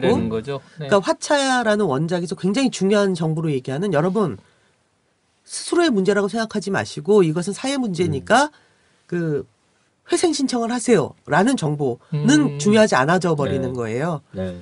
근데 그야말로 그 밑바닥으로 떨어질 수밖에 없었던 여자가 자기하고 똑같이 밑바닥으로 떨어진 다른 여자를 잡아먹는 얘기다. 이건 네. 되게 당대적이다. 네. 음. 이건 21세기적이다. 네. 딱그 부분 때문에 이 원작으로 영화를 만들고 싶어진 거예요. 네. 그리고 조명가게 같은 경우는 더 조금 그런데 그 조명가게와 골목이 너무 좋았어요. 어. 사실은 딴 게 없었어요. 근데 나중에 풀이랑 강풀 작가랑 네. 뭐 이런저런 얘기를 하는데 그 친구도 처음에 이 조명가게 아이디어가 뭐 이를테면 이런 공간이 있고 뭐 이런 세상이 있고 뭐 이런 사람이 있어가 아니라 자기가 일상적으로 부딪히는데 굉장히 무서운 거. 음. 갑자기 뭐 엘리베이터가 열렸는데 껌껌한 복도 뭐 이런 음, 거 있잖아요. 그런 걸 그리고 싶었다. 네, 골목길. 아, 그래서 아 그게 일치했구나 다행이다. 네. 그래서 그래서 하게 되는 뭐 그런 거 같아요. 그러니까 사실은 음. 책 자체가 단 하나도 고칠 게 없고 이걸 정말 원작으로 예전부터 하고 싶었고 였던 적은 없는 것 네. 같고요. 음. 미래- 그 네. 느낌을 어 느낌을 사는 거군요. 느낌을 정경민 제가. 데뷔 충무로에서 데뷔를 했던 미래. 작가의 네. 내 생애 하루뿐인 네. 특별한 날 같은 경우도 그 여성적인 문체를 음. 영화로도 할 수 있나 실패했지만 음. 그게 그게 저의 미션이었어요. 음. 예, 그게 그래서 실패했다고 네. 생각하는데, 그러니까 여성주의적이 뭐 이런 게 아니라 페미닌한. 네. 음. 근데 그 페미닌한 것의 파워, 네. 그것의 어떤 그 깊이가 음. 너무 좋아서 음. 이거가 나한테 정말 어떨까? 내가 해보고 싶은 미션이 네. 되는 거죠. 네. 이것을 어, 영상 언어화 시키는 네. 게 음. 그래서 하게 되는 것 같거든요. 왜 나는 미래 하면 그냥 여성이 여성이 보고 느끼는 욕망, 섹스는 다르다 같은 어떤 그런 카피만 계속 떠오르요. 굉장히 좋아했던 영화인데, 네. 네 그런데도 그쵸. 뭔가 여성이 그리는 아이고 죄송해요. 여성이 여성이 여성 감독이 그리는 여성의 관점에서 본 여성의 느낌 같은 거였죠, 그게 그. 굉장히 중요한 네. 영화였던 거잖아요. 예. 음. 그러니까 그런 것들이 되게 중요해서 원작이 골라지는 것 같아요. 네. 그래서 음. 네. 그러니까 그 줄거리를 뭐 아까 서사 얘기가 좀 나왔었지만 그 줄거리를 막 따라가고 이게 중요한 건 아닌 거군요. 그렇죠. 어차피 감독한테는 300페이지 아니, 뭐 이상 넘어가는 배우 소설은 감독님한테는 두 시간 안에 영화로 못 만들어요. 똑같이 만들고 그렇죠. 싶어도. 그렇지. 네. 네. 음. 근데 저는- 이제 저희 같은 경우에 열려문의 비밀을 이제 조선 명탐정으로 이렇게 그건 누가 때 거예요? 그거는. 그 저희 이제 이선미 PD라고 그 조선 명탐정의 프로듀서가 있어요. 제작 같이 이제 공동 제작하는 저희 회사 이제 프로듀서 프로듀서인데 그 친구가 먼저 보고 아 이 아 그리고 감독을 찾은 거예요? 그러면? 어 그럼요. 어. 네, 그래서 저희가 보고 아 이 이 원작을 영화로 하면 재밌겠다. 음. 저희는 거기서 이제 캐릭터와 줄거리 중에 어떤 부분을 보고 이제 그 영화를 만들어 보겠다라고 생각한 거였거든요. 음. 그렇게 어떤 그 원작에서는 요거는 캐릭터가 너무 좋으니까 가져가겠다라고 생각할 수도 있고 어떤 음. 원작은 서사 서사가 너무 좋아 거기에 뭐 캐릭터나 뭐 이거 다른 거는 바꿀 수도 있는 뭐 그런 음. 식으로 뭐 이게 원작의 모든 것을 가져가겠다라고 생각하는 감독이나 제작자는 별로 없을 것 같아요. 음. 자기가 꽂힌 다른 게 이제 있는 거고 그걸 가지고 이제 원작자랑 만났을 때 원작자가 어 그렇다면 어, 당신 영화 하는 것이 좋겠다라고 이제 동의해 주는 지점이 같아야 되겠죠. 자기는 이렇게 뭐 내 소설이 영화됐을 때 이런 영화가 나오길 바라는데 와서 엉뚱한 얘기를 나는 캐릭터만 가지고 가겠어. 만약 음. 자기. 서사가 중요하다고 생각했는데 뭐 원작자 입장에서는 예, 그럴 그러면 이제. 예, 안 판다고 하겠죠. 음. 그래서 이제 그 원작자들도 그런 걸 되게 중요할 것 같아요. 이게 영화로 된다면 이것만큼은 감독이나 제작자가 놓치면 안 될 것 같은 자기가 음. 갖고 있는 어떤 중요한 어떤 원료 같은 것들을 빼앗기거나 두 부류가 안 있는 거. 아니에요? 그냥 어떤 분들은 왜 감독한테 던져놓고 네 맘대로 하라는 분들도 있다는 거잖아요 원작자 중에. 그러니까 예를 들어서 미야베 미유키 음. 같은 경우는 시나리오를 아예 안 봐요. 음. 어. 그냥 영화로 보여달라 그러고 네 마음대로 음. 하라고 그러는 오, 편이고 진짜? 강풀 작가도 그렇고요. 네. 음. 근데 제가 한 적은 없지만 우리나라에도 영화된 적이 있는 시가시노 게이고 같은 네. 경우는 그 그게 있다고 그러더라고요. 그러니까 이건 반드시 이래야 되고 아. 제목은 이래야 되고 뭐 이런 게 있- 용의자 있다고. X의 헌신 예, 말씀하시는 예, 거죠. 음. 그러니까 그 작가마다 다른 거겠죠. 그렇죠. 음. 작가마다 다른 거죠. 저희 같은 경우에는 그 김탁한 선생이 애초에 시나리오를 자기가 쓰겠다라고 했었어요. 그래서 그게 조건이었어요. 그리고 영화는 만족해 하셨어요 김탁한 선생님? 음, 아우 그 얘기는 예, 뭐안 좋아했나 보다. 예, 안 좋아, 예, 안 좋아했어요.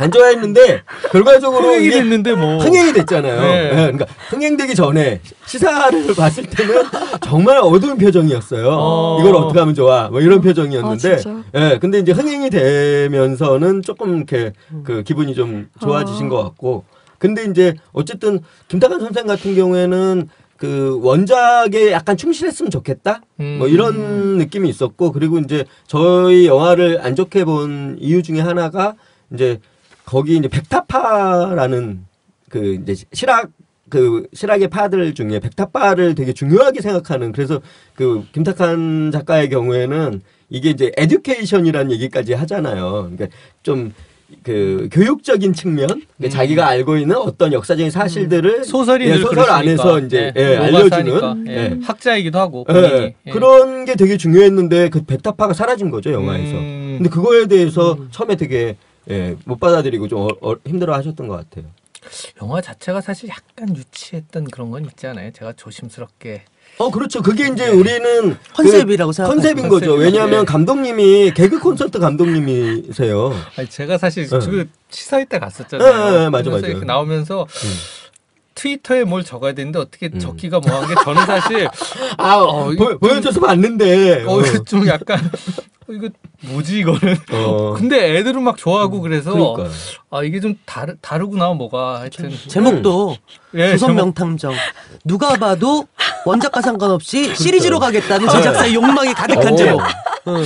아 그랬었어요. 감독을 저희가 이렇게 그 선택할 때 아 이거는 그 약간 개그 영화 같은 느낌. 그러니까 좀 그 아 근데 그렇게 많이 볼 줄 몰랐어요. 저는 그냥 왜 아, 땅 진짜요? 땅 파고 나타나는 것도 그렇고 왜 음. 발이 안 보이게 막 달리는 그런 것도 그렇고 아 이게 왜 이러지 모아지는 거지 약간 개그 콘서트 보- 좋아하시는 분들은 좋아하잖아요. 아 그게 그게 어떤 코드 문제 어, 같아요. 그럼요. 어쨌든 아주 성 김탁환 선생님 반응도 좀 이해할 수 있는 이거 내 아. 책에 이런 게 아닌데 이거, 어, 그렇죠. 이거 왜 이러지 네. 이게 지금 그래서 좀 원작자가 감독을 믿고 갈 때는 어 뭐 당신이 마음대로 해. 음. 뭐 이렇게 생각할 수 있지만 이제 우리 같은 경우에는 감독님이 영화를 거의 처음 하시는 분, 그 전에 이제 음. 올드비스 다이어리를 하셨지만 주로 이제 TV에서 그 시트콤이나 개그 콘서트 이런 것들을 하셨던 감독님인데 영화를 하신다 그러고 이게 사극이고 규모가 있고 막 이러니까 이제 믿기 어려우니까 음. 계속 뭔가 원작자로서의 어떤 역할들을 하시려고 했죠. 미야베 미유키는 반응이 아주 좋았던 거죠. 그러니까 당연히 네, 고맙게도 네. 예.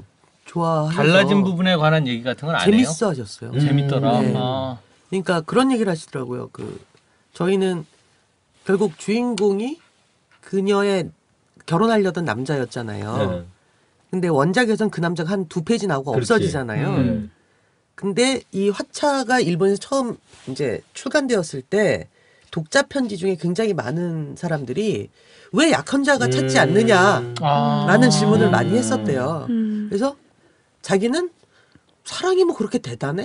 뭐 그렇게 찾아? 어, 어, 어. 라고 생각을 하셔서 음. 근데 사람들이 의외로 약혼자가 찾기를 바라는 마음이 음. 있구나 재밌다 음. 라고 생각을 하셨었대요. 음. 그러고 근데 이렇게 나서 나온 20년 거네요. 정도가 네. 지나서 예.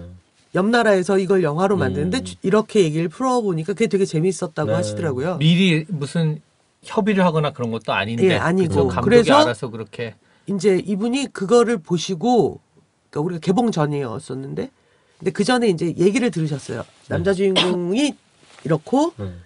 엔딩이 많이 달라졌다. 시나리오 네. 보지 않은 상태에서 그 정보를 들으시고 음. 그때 아사히 TV에서 이제 아사히 TV 그 방송 뭐 기념으로 화차를 드라마로 2부작을 만드나 1부작을 오. 만드는데 그 조건이 거긴 조건을 거셨대요. 한국에서 원작과 되게 달라진 음. 영화가 나올 거기 때문에 당신들은 음. 원작에 되게 충실해야 된다. 음.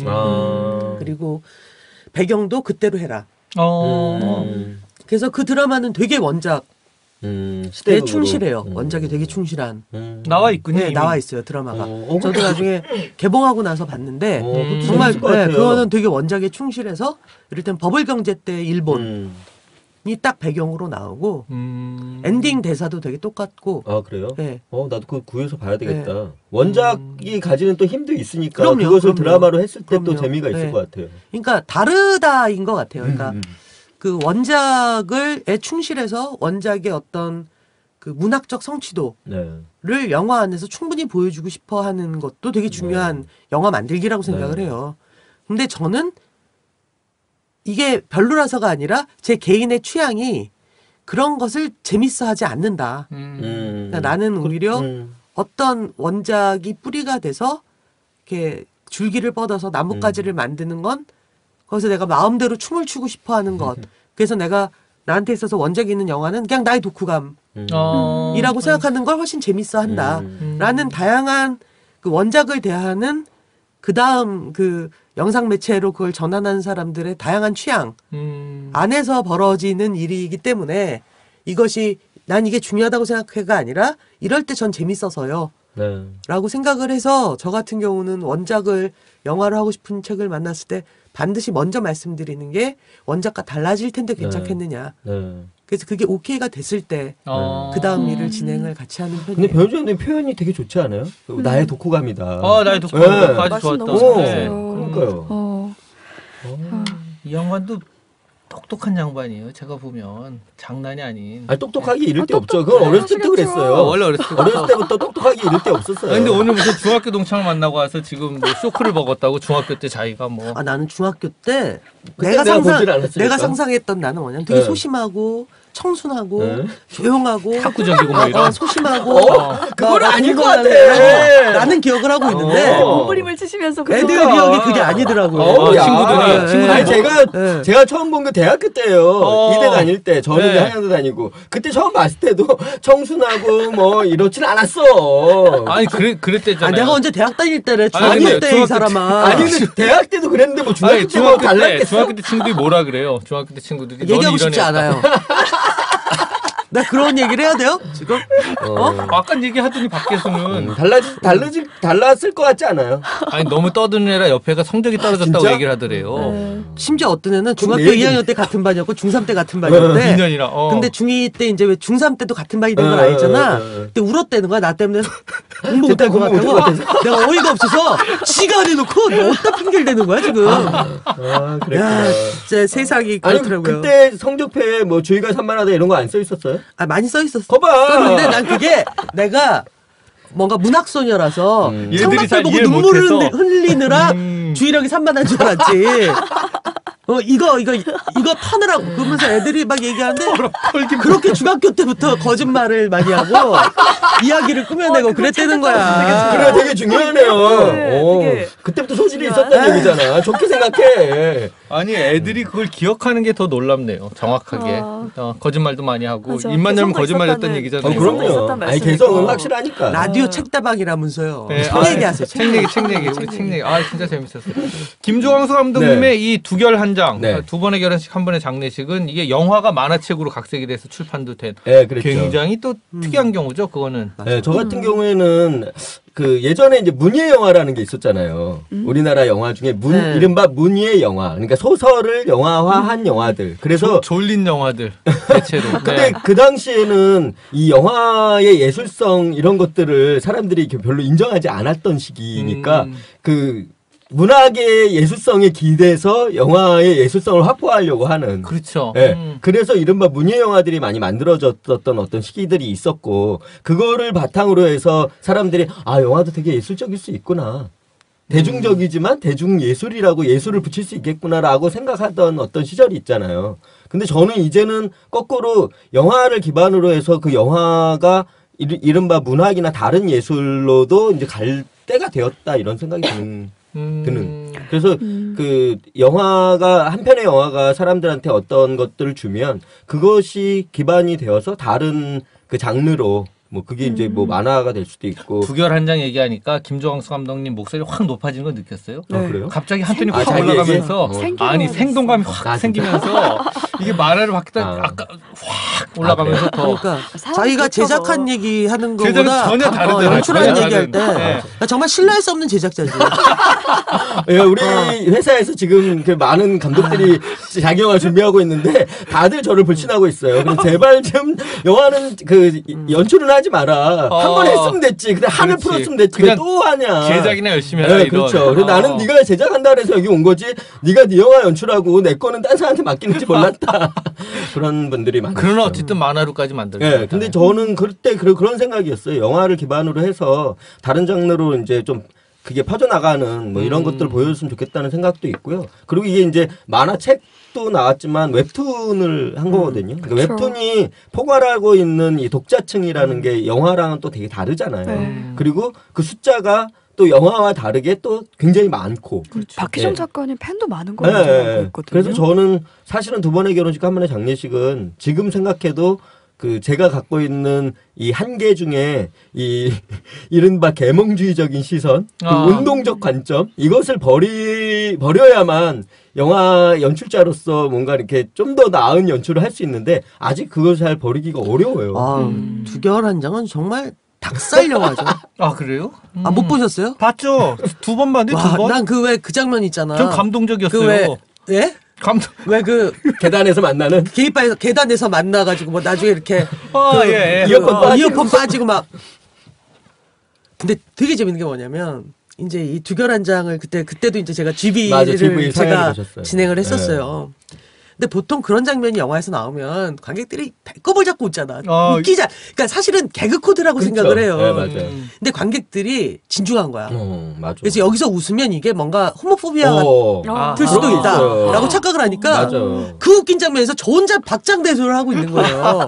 사실 웃기라고 네. 만든 장면인데 아 왜? 진짜요? 네. 안 웃는 거야. 그러니까 아. 웃으면 안 된다고. 생각- 음. 저기 여러분 모든 동성애자들 그렇게 유치하게 연애를 하지 않아요. 그냥 웃기라고. 왜냐면 그냥 김정황 감독님 어떤 감성인 줄 알았어요. 감성이고 70 아니, 년, 감성인데 80년대 그게- 약간 풋풋한 그런 거 좋아하는. 아니 아니 물론 그렇죠. 근데 네. 그것을 유치하게 표현한 거잖아요. 음악도 그래서 막 대놓고 막 네. 유치하게 그래서 아하 막 이러고 쓰고 정말 그러는데 나는 배꼽 잡고 웃겨 죽겠고 막 야 장난 아니야? 멜로 무슨 뭐 아, 전 복고풍인 줄 알았어요. 그냥 복고풍. 어, 나는 저기 옛날에 새소년에 연재됐던 그, 어, 어, 그 소녀 만화 있잖아, 소녀 만화. 어. 네, 네, 맞아, 맞아, 맞아. 어우, 네. 그런 느낌이어서 너무 재밌었는데, 그러니까 두결한장을 그- 제가 보기에는 진중한 마음이 아니라, 음. 그냥 그, 어, 하- 할리퀸 문고 맞아 맞아. 읽듯이 예. 음. 한번 다시 보시면 음. 훨씬 더 재밌게 보실 수 있다고 아, 생각을 해요. 그러니까 너무 심각해 하지 이게 말고. 이를테면 뭐그 어떤 인권에 관한 얘기 뭐 이렇게 고민하지 마시고 네.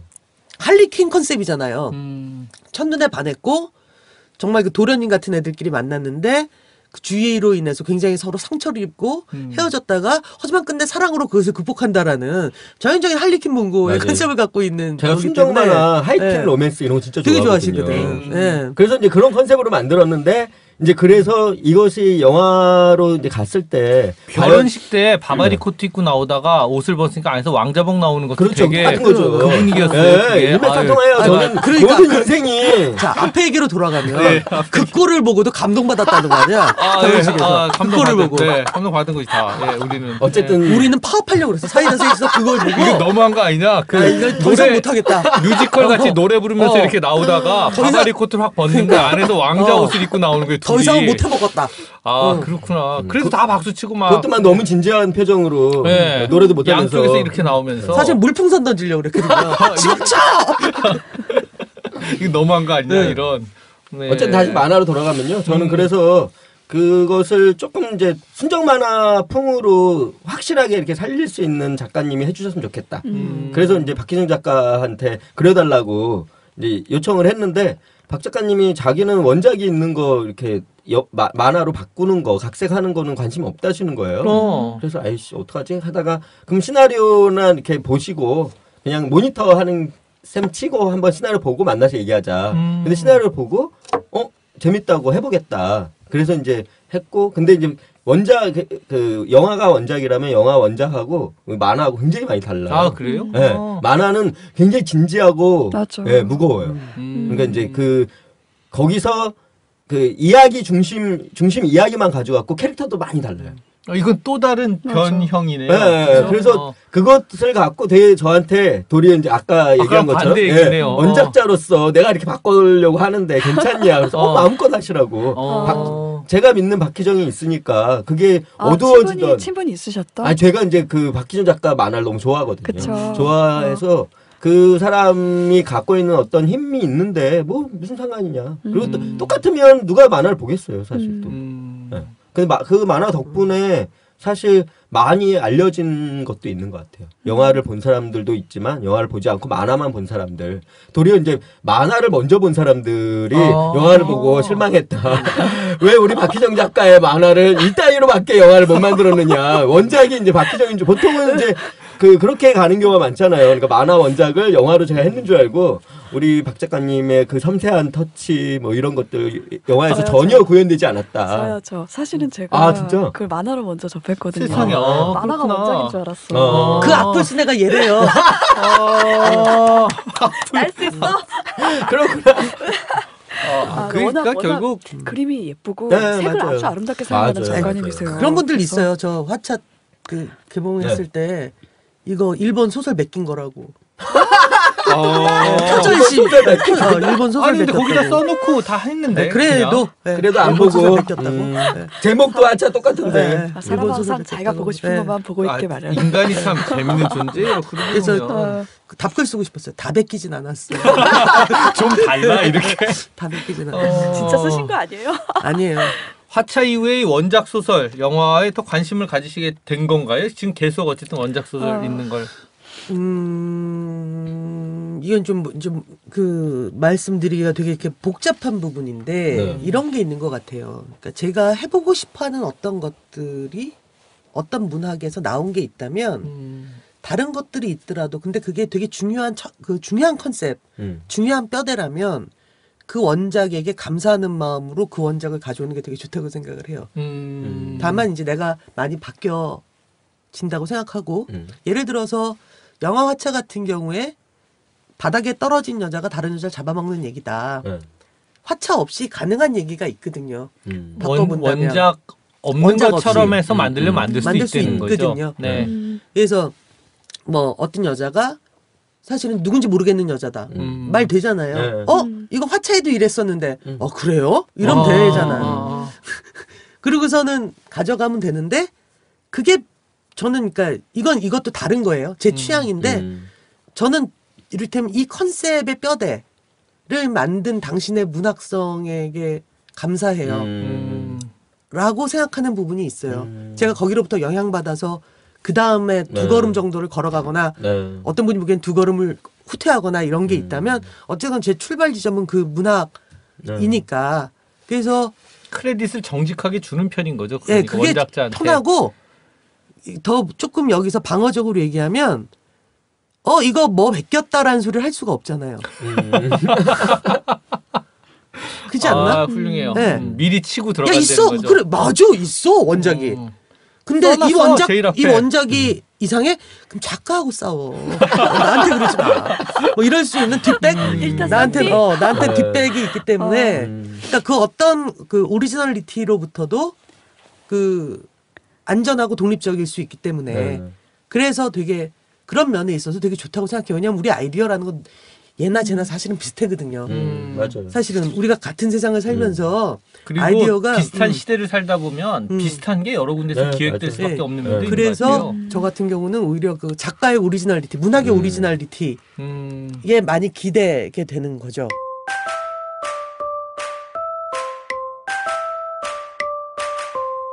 책 속에 사람이 있다, 길이 있다, 울림이 있는 감동과 재미, 버라이어티 북토크쇼 창비 팟캐스트 라디오 책다방.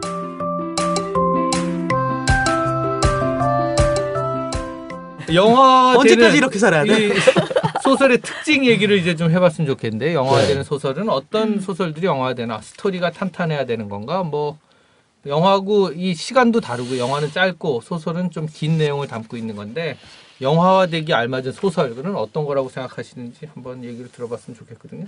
그게 뭐 따로 있나요? 요즘 음. 들어서 따로 없는 것 네, 같아요. 없는 것 같아요. 네. 그러니까 예를 들어서 근데 소설에는 보통 훨씬 길고 복잡한 얘기들이 들어가잖아요. 장편 소설 같은 그쵸. 경우에는.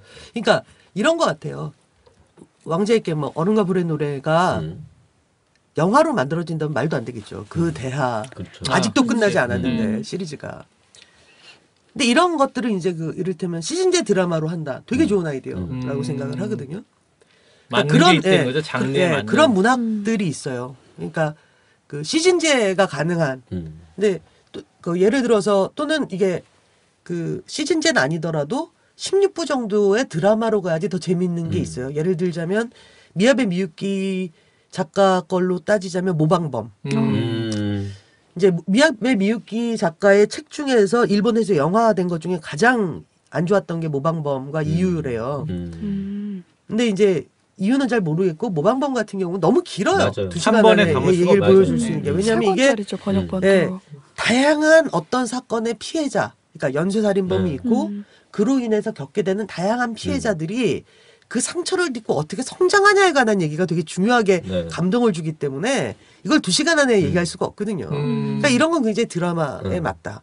그러니까 또는 어떤 거는 정말 짧은 얘기지만 두 시간짜리 영화로 막 이렇게 가져와도 어 뼈대가 너무 그렇죠. 음. 브로크앤 네. 마운틴이 그런 거잖아요. 그렇죠. 단편 소설을 음. 영화로. 네. 그래 그런 것 같아요. 또는 어떤 거는 예를 들어서 막 아까 말씀 용도 나오고 막 드래곤도 나오고 막 이런 건데 음. 왕자의 게임. 네. 네. 거기에 어떤 부분을 가지고 현대로 바꿔서 간다라고 네. 음. 한다면 그거는 또 가능한 얘기고 좀 감이 오나요? 근데 딱 읽어보다 보면 얘는 드라마다, 얘는 영화를 해보면 좋겠다 이런. 아, 그건 제 감인 거죠. 그러니까 저는 그렇죠. 그냥 저의 감으로 맞아요. 그렇게 생각을 하는 다들 거예요. 그렇게 보는 거죠. 음. 좀 재밌게 읽으면서 음. 아 이걸 영화하고 싶다고 할 수 있는 어떤 느낌이 올 때가 있고 어떤 건 너무 좋지만 아 이건 절대 영화하면 안 될 것 같아 뭐 이런 음. 생각할 때가 그러니까 있고 그 김탁한 작가 소설 네. 굉장히 좋아하는데 그 중에 이제 허균 그 뭐지 뒤를 보겠다 뭐뭐 이런 게 있어요. 네.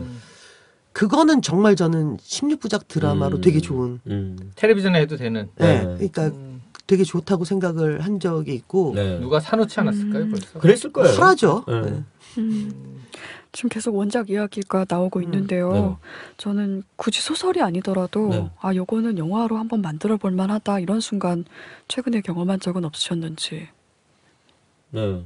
저는 그 소설 중에 저는 천은영 작가 좋아하거든요. 음. 그 천은영 작가의 소설 중에 생강이라고 네 있어요. 있어요. 네, 그 생강을 음. 영화로 하면 저게 재밌겠다. 근데 이제 아니 왜 그거는- 바깥에 황TD가 왜 좋아하시네. 갑자기 손을 흔들죠? 책이거든. 창비책이거든. 아, 창비책이거든. 아, 책이에요? 참- 어. 야 모른 척하지 마. 아니, 나 진짜 몰랐어. 아, 몰랐는데. 누가 봐도 창비책인데 아, 진짜? 창비에서 이야. 몇안 된 잘된 것 중에 하나인데 아, 잘 됐어, 심지어?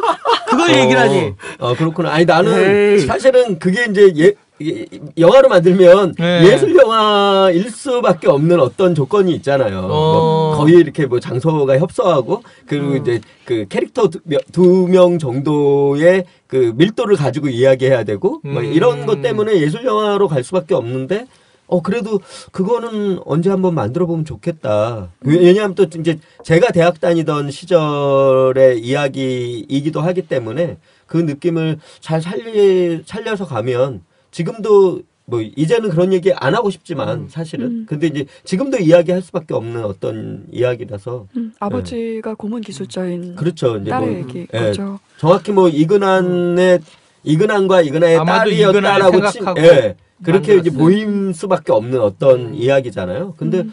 그 근데 이제 그거를 그러니까 만약에 아버지는 조직에서 이제 내쳐지고 그렇죠. 그렇죠? 예.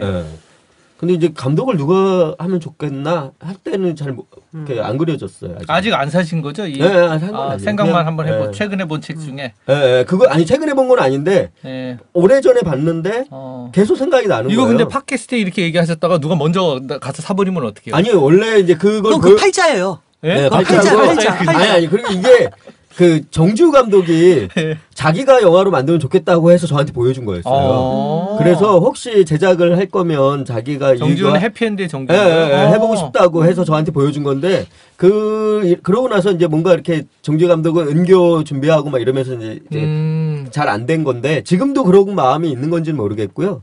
저는 이제 그거 봤을 때 어, 정주 말고 내가 했으면 좋겠다라는 약간 그런 이게 있어서 두 마음을 품으니까 일이 복잡해지는. 예. 조용히 있었죠 그냥 어 그래 뭐 하면 괜 찮겠는데 예술 영화 될 것 같아 뭐 이러고서는 뭔가 이제 이 환경이 안 만들어질 것 같은 이거도 하면 환경 만들기 어려울 거야 이런 느낌으로 이제 사- 살짝 포기하게 만든 어. 그런 적이 있는데 지금은 확인하진 않았어요. 근데 지금은 좋을 것 같아요. 만들어 볼 만한. 아 정지우 감독이 한 아니요, 한 아니요. 거? 아, 감독이 만든 누가 만들든 이 아니 생각- 뭐예요 누가 만들는 게 어딨어 네가 하면 잘할 것 같다 뭐 이런 얘기를 해줘야 되는 거 아니에요 오늘? 아, 감독님. 아 여기 와서 왜 행패야? 야, 어쨌든 저는 그냥 어, 알아서 잘 만드세요. 어, 병 감독님 어떤 책이 있으세요? 요즘 없어요. 아, 그러니까 없어요. 뭐냐면 아, 이미 지금 제 두개 시기가 있으니까. 음. 뭔가를 쓰고 있기 때문에 음. 사실은 이럴 때는 영화 보기도 책 보기도 되게 모호하고 나도 모르게 베껴 올 때가 있거든요. 어떤 구절이나 음. 이런 걸. 아, 아, 그렇지. 그래서 좀 끊고 끊고 그냥 시나리오 작업할 예, 때는. 예, 예. 어. 책 말고 저는 책 말고 다른 상황 다른 거 좀 여쭤보고 드라마에서 저는 요즘에 따뜻한 말 한마디라는 드라마가 있어요. 음. 따말 예, 따말이라고 그게 이제 불륜을 이제 다룬 드라마인데 어 그거 보면서 어 저거는 영화로 해도 되게 재밌겠다. 어떤 점이요? 그러니까 저는 이 불륜이라는 게 이, 이, 이른바 이 불륜 이 말이 되게 웃기잖아요. 네. 사실 어떤 윤리적 기준이라는 것을 이렇게 정해놓고 그것을 안 따르면 불륜이다. 음. 근데 이제 사람이 사람을 사랑하는 것을 놓고 뭐 누구 누가 누구에게 어 너는 윤리적으로 어긋났어 이렇게 이야기하게 할 수 있는 것인가? 음. 그리고 그것을 또 이- 우리나라는 지금도 그걸 이렇게 법- 법으로 단죄하고 있는 몇 안 되는 나라 중에 하나잖아요. 그래서 그런 이야기가 가지는 그 사람들한테 이렇게 이야기할 수 있는 거리들은 여전히 있는 것 같고 거기에 이제 캐릭터들이 되게 재밌었어요. 그래서 음. 저것을 영화로 해도 되게 재밌지 않을까.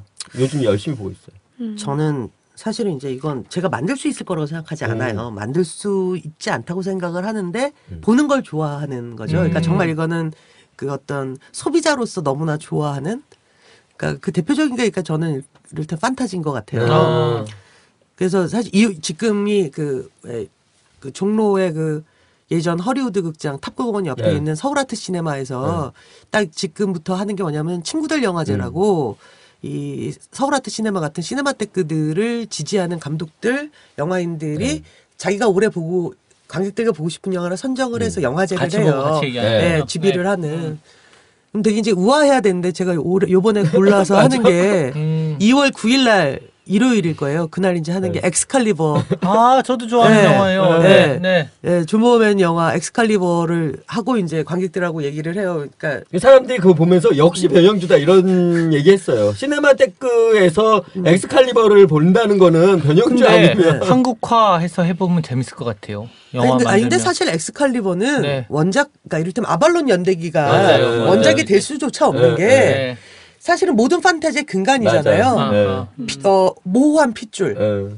버려진 자식. 음. 맞아요. 그러나 어. 핏줄의 힘으로 끝내 집어내는 양손검. 음. 그리고 아버지가 못다한 세상을 통일한다. 음. 그러다가 나쁜 엑스 만나서 인생 망치면서 제국도 마당 망하더라. 라는 그 되게 명백한 얘기잖아요. 네. 음. 그러니까 모든 그, 그 후에 모든 판타지의 어떤 원전이 되는 그렇죠. 거죠. 음. 그 핏줄을 찾는다라든가 음, 음. 뭐 이런 거는.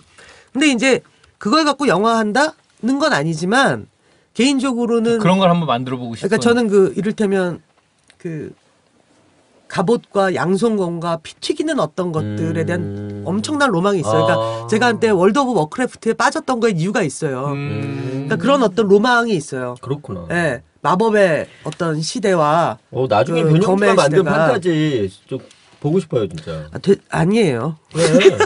아니 아니. 아니, 근데 그- 아니, 왜냐하면 음.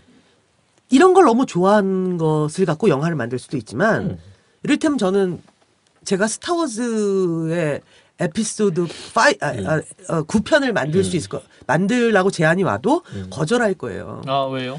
보고 싶어요. 아 그냥 아, 네. 보고 싶다. 보고 싶은 거예요. 순수하게 즐기는 예, 입장이고 보고 싶은. 거예요. 음. 예. 음. 그냥 지금 제 소원은 어, 에피소드 7이 지금 만들어지고 음. 있잖아요. 네. 빨리 나왔으면 좋겠다. 음, 빨리 아, 보고 나왔으면 싶었다. 빨리 나왔으면 좋겠다는 음. 거지. 음. 제가 영화 감독이지만 이상한 그런 게 있다고. 그러니까 이를테면 이쪽엔 맨 왼쪽엔 장률 감독의 영화가 음. 있고 음. 맨 오른쪽에 뭐 이를테면 어벤져스가 음. 있다고 쳤을 때 음. 제가 하고 만들고 싶은 영화는 그 사이에는 어떤 영화인 거지. 음. 그 모든 영화를 다 만들고 싶은 건 아니잖아요. 그건 이상한 거잖아. 이를테면 아, 물론 그, 그렇죠. 어, 내가 요번에 소치 올림픽 나가는데 음. 오늘 스피드 스케이팅하고 내일 피겨 하고 그 다음날 스키 좀 뛰었다가 컬링으로 끝내야지? 그건 이상하잖아. 네, 맞아요. 알겠어요. 어, 네. 끝내주는 비유. 근데 알겠어요. 내가 이를테면 스피드 스케이팅 선수지만 컬링 구경하는 걸 좋아한다는 네. 아, 알겠어요. 거죠. 어, 네. 딱 오네요. 어. 이게 오늘 겸손 컨셉으로 음. 계속 가는 것 같은데요. 예, 그러니까 예, 이병 감독님이 예. 그냥 내가 다 하려는 건 아니다. 난 이렇게 겸손하게. 이건 겸손과 겸손은 상관없는. 거예요. 음, 예. 말 잘못한 것 같아. 오늘 당혹스럽네요. 뭐? 아, 오늘 왜 이렇게? 김도식 잘안 오, 맞는데요? 잘 맞- 아, 이 네. 합의 잘안 맞았던 적은 없죠, 사실. 아, 아, 그래요? 네. 음. 아, 최근에 이 소설 출판사 쪽에서는 이제 영화사에서 제안이 들어오면 네. 좋아한다고 하거든요. 아, 아무래도? 훨씬 다시 한번 소설 살릴 수도 있고 음. 그러다 보니까는 유명한 작가인 경우에는 바로바로 판권이 팔리고 또 뭐 달려들기도 하고 그러니까 실제로 감독님들도 늘 그러니까 한국 소설들을 읽으면서 찾고 계신가요? 아 이거 뭔가 영화할 만한 뭐를 찾아보자 하는 자세로 아, 소설들을 찾고 읽고 뭐 이렇게 하고 있는 건가요? 특히 제작자는 더 네, 제작자는 좀 더 그런 것 같아요. 음. 혹시 좋은 소설이나 좋은 원작이 있었을 경우에 음, 그 원작을 바탕으로 하면 훨씬 이렇게 좀 빨라지잖아요. 시나리오 없는 것에서 출발하는 것보다는 그렇죠. 이제 빨라지고 또 이렇게 투자자를 설득하기도 쉽고 음. 이건 이미 소설로 해서 많은 팬들이 있다. 뭐 이렇게 이야기할 수가 있기 때문에 그 소설을 이렇게 많이 보고 그것을 갖고 이제 어떤 감독에게 맡길까 뭐 이런 것을 제가. 작년에 부산국제영화제 갔을 때는 네. 출판사 분들을 만났어요. 네. 그래서 어 이분들이 왜, 왜 양- 양복을 쫙 빼입고 맞아 맞아요. 그래서 아니, 이 양반이 안 입던 양복을 입고 왜 여기 왔다 갔다 하지 하니까 그게 아마 프리젠테이션하는 행사가 있었던 것 같더라고요. 네. 그래서 감독님들은 보고 네. 제작자들은 보고 네. 출판사들은 이제 소설을 들고 와서 네. 설명하는 뭐 네, 막 그런 미팅하고 그렇죠. 어 그러니까 그 재밌는 것 같아요. 네, 그래서 저희. 같은 경우에는 저희 이제 회사에 같이 일하는 프로- 프로듀서가 네 명 있는데 그 네 명이 주로 이렇게 많이 자기 거 개발하는 동안에 프로듀서들은 사실 이렇게 자기가 직접 뭐 이렇게 시나리오 쓰거나 이렇거나 이런 건 아니기 때문에 주로 이제 음. 소설을 많이 보죠. 근데 그런 홍보가 좀 효과가 있나요? 예를 들면 프리- 프레젠테이션을 한다든지 어, 출판사 그럼요. 쪽에서 적극적으로 영화를 찾아 나선다든지 영화할 사람을 네. 효과가 있는. 효과 있죠. 그래서 저희도 거기에 이렇게 꼬박꼬박 참여하는 PD가 있어요. 아, 네, 그리고 매번 참여해서 뭔가 하려고 하는데 매번 다른 회사가 먼저 선점하고 다른 회사한테 항상 뺏기는 그런 비운의 프로듀서가 있죠. 근데 제작자나 프로듀서는 그럴 것 같아요. 음. 근데 이제 감독 입장에선 영화할 생각을 하고 그 책을 읽었던 경우는 한 번도 없었던 음. 것 같아요. 그러니까 제가 이제까지 영화했던 음. 모든 원작들은 와이 책. 너무 재밌어. 음. 음, 였다가 어느 날 어 근데 그거를 해보는 건 어떨까라는 생각으로 다시 돌아가서 다시 그 책을 읽게 되는 거지. 네. 뭐 이를테면 야 이- 이번에는 어떤 게 원작으로 좋을까? 뭐 이렇게 되진 않는 것 같아요. 그럼 음. 책 읽는 재미도 없어지고. 맞아. 음. 음. 네. 근데 감독의 친구들은 되게 감독이잖아요. 네. 이상한 질문을 하자면 예. 예를 들면 병 감독님이 어떤 책을 읽고 와서 와 이거 진짜 재밌다. 네. 와 막 친구들하고 얘기하다 보니까 그걸 들은 어떤 어떤 놈이 먼저 가서 그런 경우 있죠. 산다든지 네. 또는 그걸 먼저 영화로 만든다든지 뭐 그런 일 있을 수 있는 거 아닌가요? 어, 늘? 기본적으로 그렇기 때문에 저는 어, 친구 감독들에게 어, 너무 이 책 좋아라고 터는 거는 한정돼 있어요. 예를 들면 어, 파운데이션 전집이 나왔는데 너무 좋아. 파- 뭐 판권을 사보시든가 뭐 이런 거죠. 만들 수도 없고 어, 거의 어, 야 북스피어에서 몇 년 전에 아발론 연대기가 다시 나왔다. 나왔다. 번역이 잘 돼 있어서 역사와 뭐 이거 안에서 다 나와. 너무 김정란 좋더라. 선생님 번역한. 어, 김정란 네. 선생님 번역한. 음. 어쩌까 살 거야? 근데 그게 그런 거예요. 어? 사도 만들 수 없는 거의 그런 뭐, 거죠. 그러니까 어. 제가 얼마 나 거품 물고 그 왕자의 게임이나 뭐 성검의 네. 전설 이 그 어째 맨날 왕자의 게임 얘기만 네, 하더라. 어른과 불의 노래를 네. 그 미드로 나오기 훨씬 전에 네. 그 2004년도인가 6년도에 처음 나왔었는데 그때 막 거품을 물고 음. 이게 두꺼워서 그렇지 음. 실제로 너무너무 재밌어. 왜 어쩔 거야 뭐 이런 거예요. 그러면 본인이 만들고 싶은 건 이렇게 조용히 가지고 있는? 당연하죠. 아, 네. 거기다 생존 기법이 있는 거고. 그래가지고 판권을 산다면 얘기하죠. 음. 어, 그 소설 좋아서 뭐 이렇게 되는 거. 샀어 벌써 네. 이렇게. 그리고 어. 이제 내가 막 거품을 무는 건 만화 중에서도 이제 그 일본 만화 중에서 네. 도저히 이건 뭐 한국 뭐 하려면 해뭐 음. 난 즐길 어. 거야 뭐 이런 음. 거라든가 또는 뭐 판타지나 무협 무협 쪽도 되게 많이 얘기를 해요. 어그 작가 이번에 이런 거 쓰면 너무 좋아. 음, 어쩔 거냐고요. 못 만드는 뭐 송나라. 시대로 갈 거냐고 네, 지가. 맞아요. 그 어, 갈 비슷해요. 거냐고. 음. 자기가 이제 그 뭔가 그 관심이 있는 판권에 관심이 있는 뭐 만화든가 그 요즘 이제 예를 들면 웹툰이라든가 뭐 소설이라든가 이런 게 있잖아요. 그럼 그 얘기만 안 하는 거죠. 아. 그 얘기만 안 하고 딴 얘기 막 하고 그 아- 알고 보면 나중에 만약에 제가 이제 막 신과 함께 너무 좋다 막, 막 이런 얘기, 얘기하면 원동현 대표는 그냥 조용히 있죠. 음. 막 가만히 있는데 알고 보면 그 사람이 이제 이미- 이미 그걸 사고 있는 아. 또는 그런 거 있잖아. 그 김훈 작가님의 그 남한산성의 경우에는 출간되자마자 모두들 그 얘기를 했죠. 왜냐하면 어. 이거는 자기가 숨길 수 있는 성질의 아, 책이 아니니까. 아니잖아. 숨겨봐 의미 어. 없는. 어차피 어, 다 보고. 아, 너, 어, 너무 좋은데 이건 어. 나만 좋아야지. 그럴 수가 없잖아요. 맞아요. 어. 네. 그런 경우 이제 편하게, 음. 응, 편하게 그 그런 건 누가 사는 거예요? 그런 남한산성 같은 거의 판권은. 모르겠는데요. 제가 어. 알기로는 그러니까 지금 영화로 준비 중인 걸로. 알고 있어요. 어. 예, 예, 예. 그러니까 뭐 그런 뭐- 뭔가 이렇게 먼저 자기가 먼저 이렇게 보고 싶은 게 있잖아요. 그래서 이제 어떤 제작자나 감독님들은 그 작가들하고 이렇게 뭔가 이게 인프라를 구축하는 음. 나한테 제일 먼저 보여줘야 돼. 뭐 이런. 근데 뭐 저는 그렇게는 또 잘 안 되더라고요. 우리 팟캐스트가 사실 이 출판 관계자들, 네. 아, 특히 책 만드는 분들이 되게 많이 들어요. 아. 출판 기획 편집하는 분들이 네. 이런 분들한테 어, 네가 만든 책, 네가 기획한 책을 영화로 만들고 싶다면 이렇게 감독들한테 접근할 수 있다. 뭐 이런 비법 같은 거 없어요. 뭐. 아니 뭐 이렇게 많이 보내야 되지 않을까요? 아 감독 저한테도 책이 하고. 많이 와요. 근데 저는 이제 제가 만드는 영화들이 주로 이렇게 그 순정 만화풍의 영화들이잖아요. 아. 그러니까 이제 저도 주- 이제 좋은데 그런 책들이 주로 오죠. 음, 예, 아, 만화나 아는구나 예. 예, 예. 네. 그래서 그런 책들 을 오면 이제 그 중에서 뭐 내가 좋아하지 않을까 싶어서 이렇게 보내시는데 사실 저는 이제 그렇게 해서 그 제가 연출할 영화는 사실 거기서 이렇게 원작에서 가져온 적이 없잖아요. 그러니까 저는 이제 제작자도 하니까 감독이 김조강 감독으로서의 김조강 수는 자기 얘기만 계속하는 거잖아요. 본인의 그러니까 지금은 본인의 그런- 경험이 가득 네. 담긴 지금까지 지금은 그런 중인데 저한테 이제 그 어떻게 보면은 쓸데없이 책값을 낭비하신 거죠. 내가 좋아할 책들을 많이 보냈지만 그냥 저는 어 재밌어 감사합니다라고 읽었던 병 감독님께도 책이 많이 가는. 어, 거론해도 되나요? 네. 네, 다시 한번 저에게 계속적으로 너무나 즐겁고 재밌는 책을 보내주시는 민음사 황금과 이제 감사하고요. 네, 언제나 그 정말 그 진심으로 예. 함께 하고 싶고 아, 민음사 황금까지. 예, 네, 알겠어요. 진심으로 함께 하고 싶고. 어. 근데 이제 아니 믿는 상황까지는 우리가 원작을 소설로 만들었는데 우리한테는 안 보내고 왜? 어? 보, 보내고 있는지 근데 이제- 몰라요. 감, 가, 아니에요. 우리 회사에는 안 보냈어요. 어. 어, 한국까지 알겠습니다. 변현주 감독님한테만 보내시고 저희 회사에는 안 보내셨는 어, 거예요. 이 당황스러운 분위기 이거 뭐지 이거? 이거 어떻게 해야 되는? 무슨 수작이야 지금 파주에 와서 책을 책을 사서 봐야지 말이야. 책은 사서 봐야 책은 사서 봐야 돼요. 예. 무슨 수작이야 지금 책은 책은 와서. 책은 사서 네. 봐야 되는 거고요. 어, 예. 뭐 농담이고요. 네. 그런데 그런 것 같아요. 그러니까 그 책을 보내주신다고 해서 그거를 읽고 영화하고 싶어지는 경우의 수는 별로 없는 음. 건 맞아요. 자기 손으로 골라야 되는 거죠. 예, 책 그렇게 사고. 되는 것 예. 같아요. 그리고 이제 근데 이제 이런 건 있겠죠. 그 힘드시겠지만 우리나라 지금 출판 산업이 얼마나 어려운지 잘 알고 있지만 음. 많이 출간하셔라. 음. 많이 출간하셔라.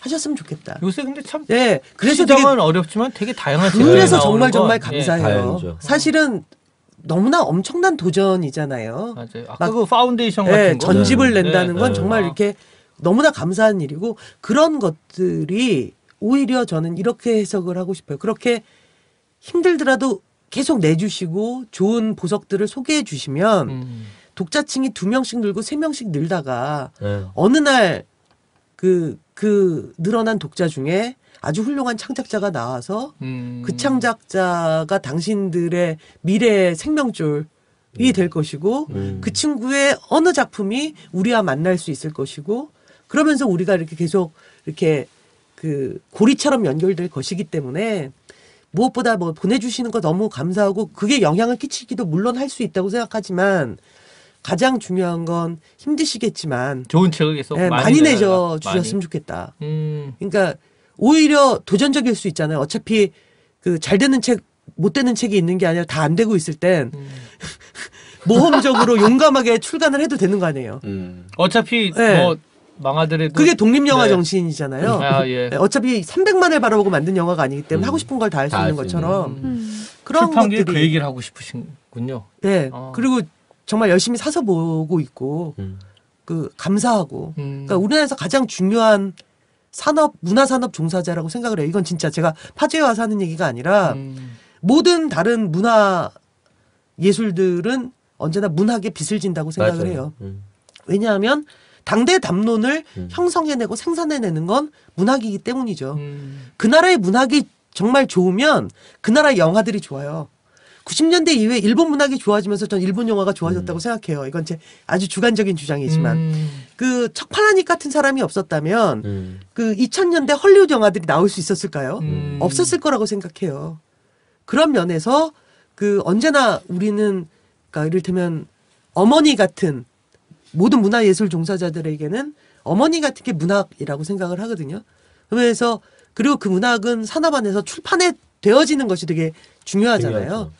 그래서 그런 용감한 그 출판 출간들이 음. 결국 한국 그 문화 예술 전체를 살찌운다. 네, 살 살찌운다? 살찌운다보다는 이렇게 그 에게 어떤 담론들을 형성해 준다라고 음. 생각을 음. 하기 때문에 되게 존경하죠. 감사하고. 음. 아, 긴 시간 계속 더 말씀을 나눠봤으면 좋겠는데 어, 아, 시간이. 많지 않네요. 네. 그래서 어, 뭐책 얘기 슬슬 마무리하면서 네. 두 분이 특별히 주목하는 뭐 작가나 작품, 뭐 장르 이런 거 뭐 하나씩 하나 좀 꼽아주죠. 어차피 우리 책다방이니까 네. 지금까지도 이미 많이 말씀하셨는데요. 네. 요즘 내가 이런 작가, 이런 작품, 뭐 장르 이런 거 한번 추천하고 싶다. 김조광수 감독님. 음, 저는 뭐 제가 좋아하는 그 하이틴 하이틴 로맨스 뭐 있잖아요. 음. 그 소설 그러니까 아까 이제 그 하위 장르 뭐, 그 마이너 장르 이런 얘기 하셨잖아요. 그 변영주 감독님도.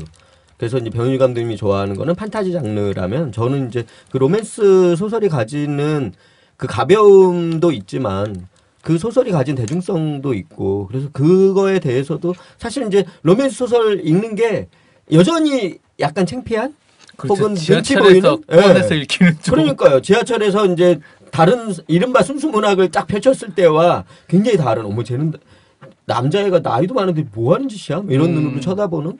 근데 이제 그런 다른 장르 예, 또 대중적인 이런 장르에도 좀 이렇게 눈을 좀 많이 돌려주셨으면 좋겠다. 물론 그 예전에 비해서 뭐 이른바 책릿 소설들이 이제 뭐 이렇게 대중적으로 많이 팔리면서 큰 출판사나 아니 뭐 주류에서도 그 관심들을 가지시긴 하시지만 음. 여전히 이제 이- 이 하위 장르라고 얘기하는 이 장르 소설에 좀 관심 많이 가져주셨으면 음. 좋겠어요. 네, 병감 전좀 그 얼마 전에 작년에 제가 되게 즐거웠던 행사 중에 하나가 뭐였었냐면 그 고전들 중에 영화화된 것, 음. 뭐 이럴 땐 폭풍의 언덕, 뭐 음. 알라 갈린이나 뭐 음. 이런 영화들을 이렇게 그 관객들한테 보여주고 그걸 갖고 이제 그 CBS 정혜은 PD랑 둘이서 음. 이렇게 집의를 한 적이 네. 있어요. 몇 달마다 한 번씩. 네. 어쩔 수 없이 봐야 되는 거야 다시. 네. 음. 뭐 레미제라블을 막그 다섯 권짜리를 네. 음. 다시 봐야 되고 두권 다섯 권짜리 다시 봐야 되고 막 안나까나나도 네. 애들이 전반적으로 막 길잖아요. 네, 맞아요. 음. 옛날 어르신들은 무슨 생각이었는지 모르겠어요, 진짜. 다른 할 일이 응. 없었거든. 네. 근데 사실은 다 읽은 거고 우린 다 안다고 음. 생각하고 저는 그랬는데 다시 읽었는데 어. 정말 처음 읽는 느낌인 거예요. 음. 정말 어떤 그 아마 그것이 번역이 발전해서일 수도 있어요. 우리가 어렸을 때 읽었던 그 책의 아. 번역과 네, 다 일본어 예, 중역이었고 예. 그 당시에. 아, 요즘 수 다시 있겠네요. 번역되어져서 네. 이제 세계문학 전집이 네. 나오잖아요. 음. 거기에 번역이 다른 것 같아요. 음. 세- 처음 보는 문장이 한두 개가 아니었어요. 음. 그 읽는 사람들 네. 인생이 뭔지 좀 음. 알게 됐고. 아, 그럴 수 있어요. 네, 그러니까. 네. 그래서 아, 오히려 제가 요즘 권하고 싶은 건 읽었다고 생각한 책이 음. 그러니까 다시 읽는 순간 그 책이 얼마나 새로운가. 네. 느낄 수 있다. 그래서 결국 이 책들 우리가 인생의 책이라고 이야기하는 이유는 그 책을 계속 나이가 들면서 읽어가는 순간 그 책이 다르게 읽혀지는 책들이 음. 있는 것 같아요. 그 고전인 거죠. 네. 네. 음. 그래서 고전을 다시 읽는 것이 저한테는 요즘 굉장히 즐거운 음. 일인 것 같고 더구나 이북이 나왔지 않습니까? 저는 사랑합니다 이북. 음, 저도 음. 그래요. 네. 네. 그러니까 정말 이제는 그 더 이상 그 거대한 그 가방에 책을 싸가지고 지방에 내려가지 않아도 음. 그 이북 얘기 따로 길게 해야 돼. 여기 반대파가 있거든요. 황정은 아, 같은. 거. 아, 저는 진짜? 이북 사랑이 뭐냐면 아니, 그러니까 어떤 건지 알겠지만 네. 이북으로 인해서 이를테면 책 읽기가 더 쉬워졌다. 음, 그것은 맞아요. 이 세상 가장 중요한 일이다. 음. 네. 그러니까 이를테면 어 이 책 어, 너무 무거워. 이건 안 읽을래가 아니라 넣어버리. 그래가지고 넣어버릴 수 있다는 그렇지, 게 그렇지. 어. 어, 저는 되게 애정하거든요. 음. 그래서 그 특히 고전 같은 경우 여러분들 막 다섯 권짜리 들고 다니면서 읽기 뭐 하고 특히 제일 힘들 때가 1권의 마지막 30장 맞아요, 남았을 때 맞아. 다음 이건 거를 챙길 들고 거잖아. 책을 어. 갖고 와야 맞아요. 되니까. 네. 음. 이러면서 자꾸 책하고 그 어떤 강들을 만들지 음. 않을 수 있는 음. 뭐 단점도 많겠죠. 맞아요. 네. 그렇지만 저는 그 단점을 해결해서라도 빨리 그 더 많아지고 네. 다양해져야 되는 게 이북이라고 음, 생각을 해요. 맞아요. 왜냐하면 강이 없으니까. 음, 세계 문학에서 이북으로 이제 넘어갔고요. 네.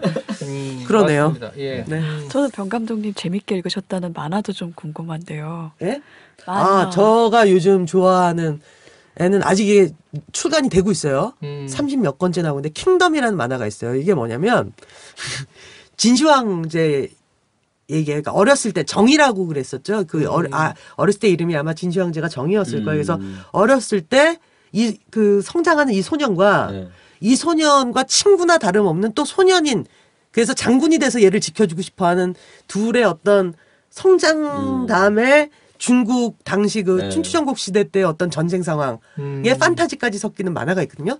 진짜 재밌어요. 킹덤. 음. 일본 작가의 네, 일본 작품. 작가 작품인데 되게 그 좋아라 하고 있고 그다음 또 하나는 그 이것도 일본 작가 건데 그 요시나가 후미라고 되게 음. 아, 잘 알려진 네. 후미 언니가 쓰시는 그 어제 뭐 먹었니 네. 예. 어. 그게 뭐냐면 그 광수형 얘기예요.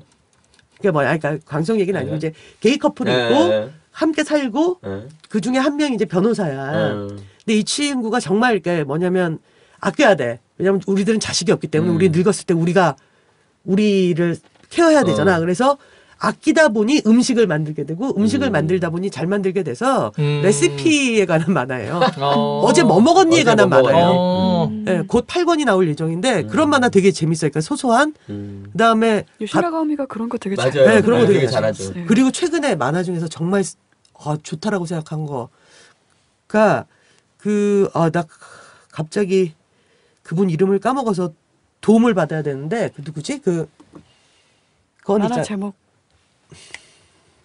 결혼한 뭐 마스터. 마스터 미리 아, 마스다 미리 마스다 미리. 미리 아. 마스다 미리 중에 네.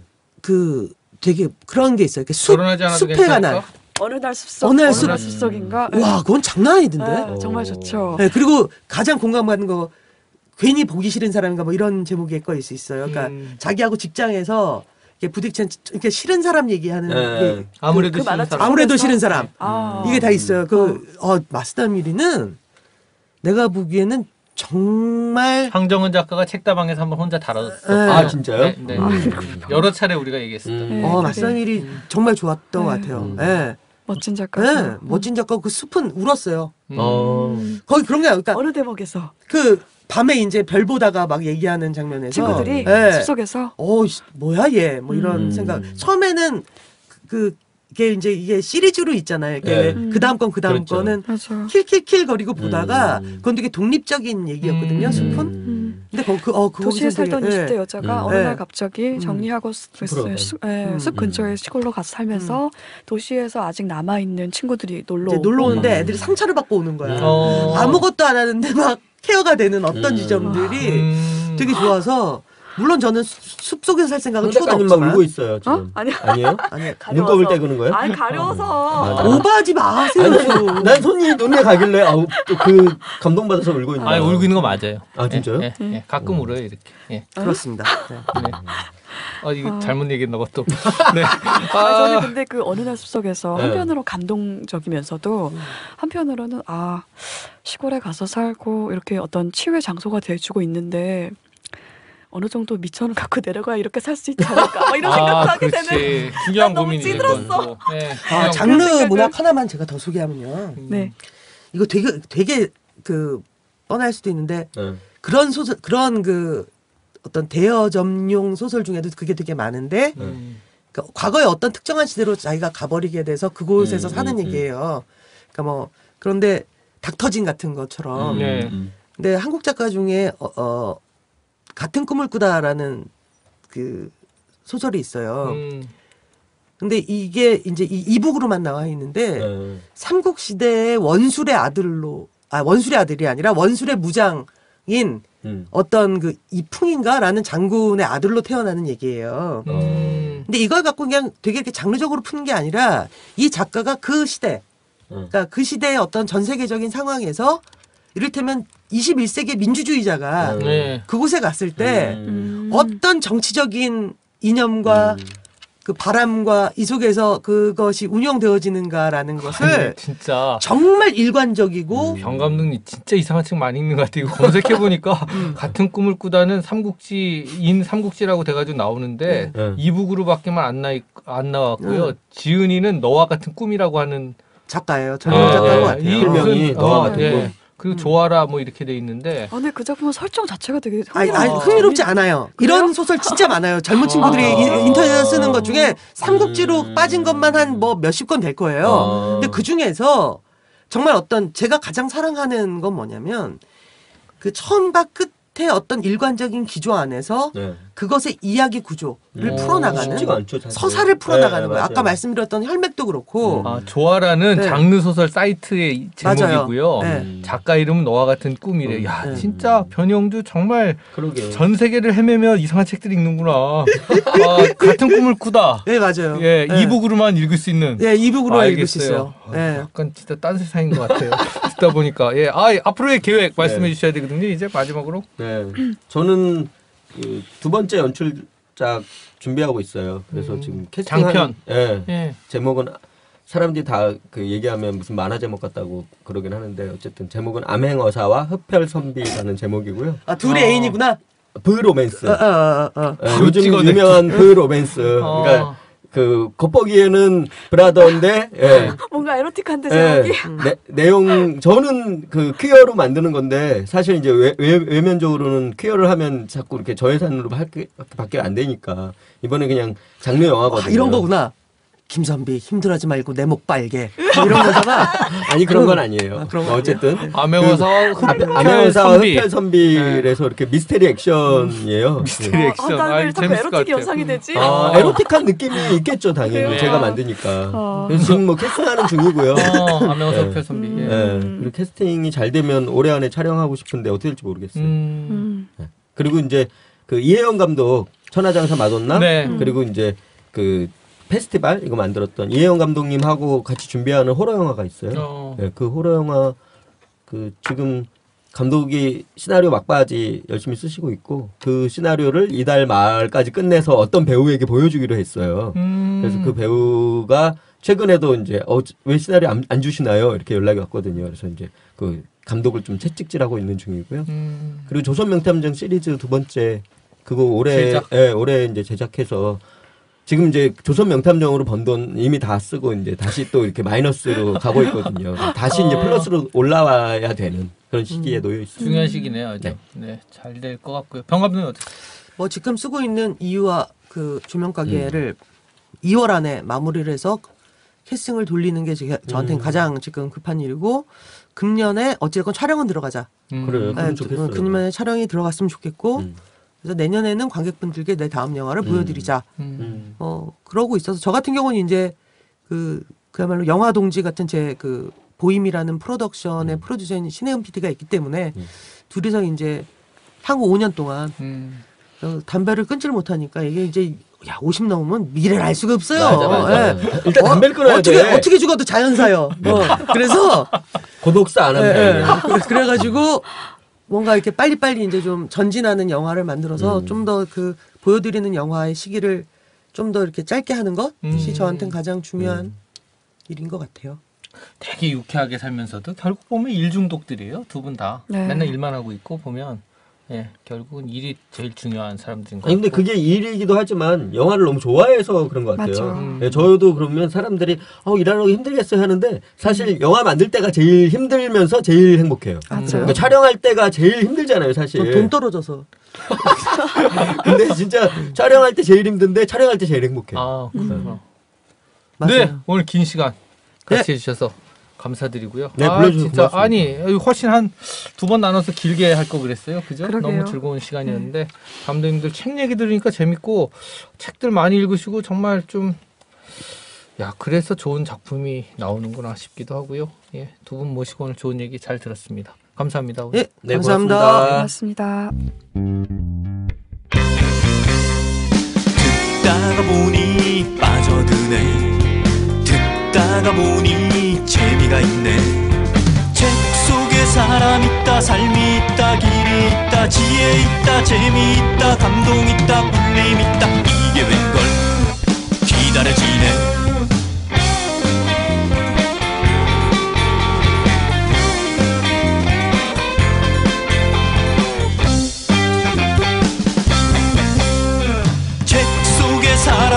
삶이 있다 길이 있다 지혜 있다 재미 있다 감동 있다 울림 있다 그게 뭔데 그게 뭘까 장비 팟캐스트 라디오 책다방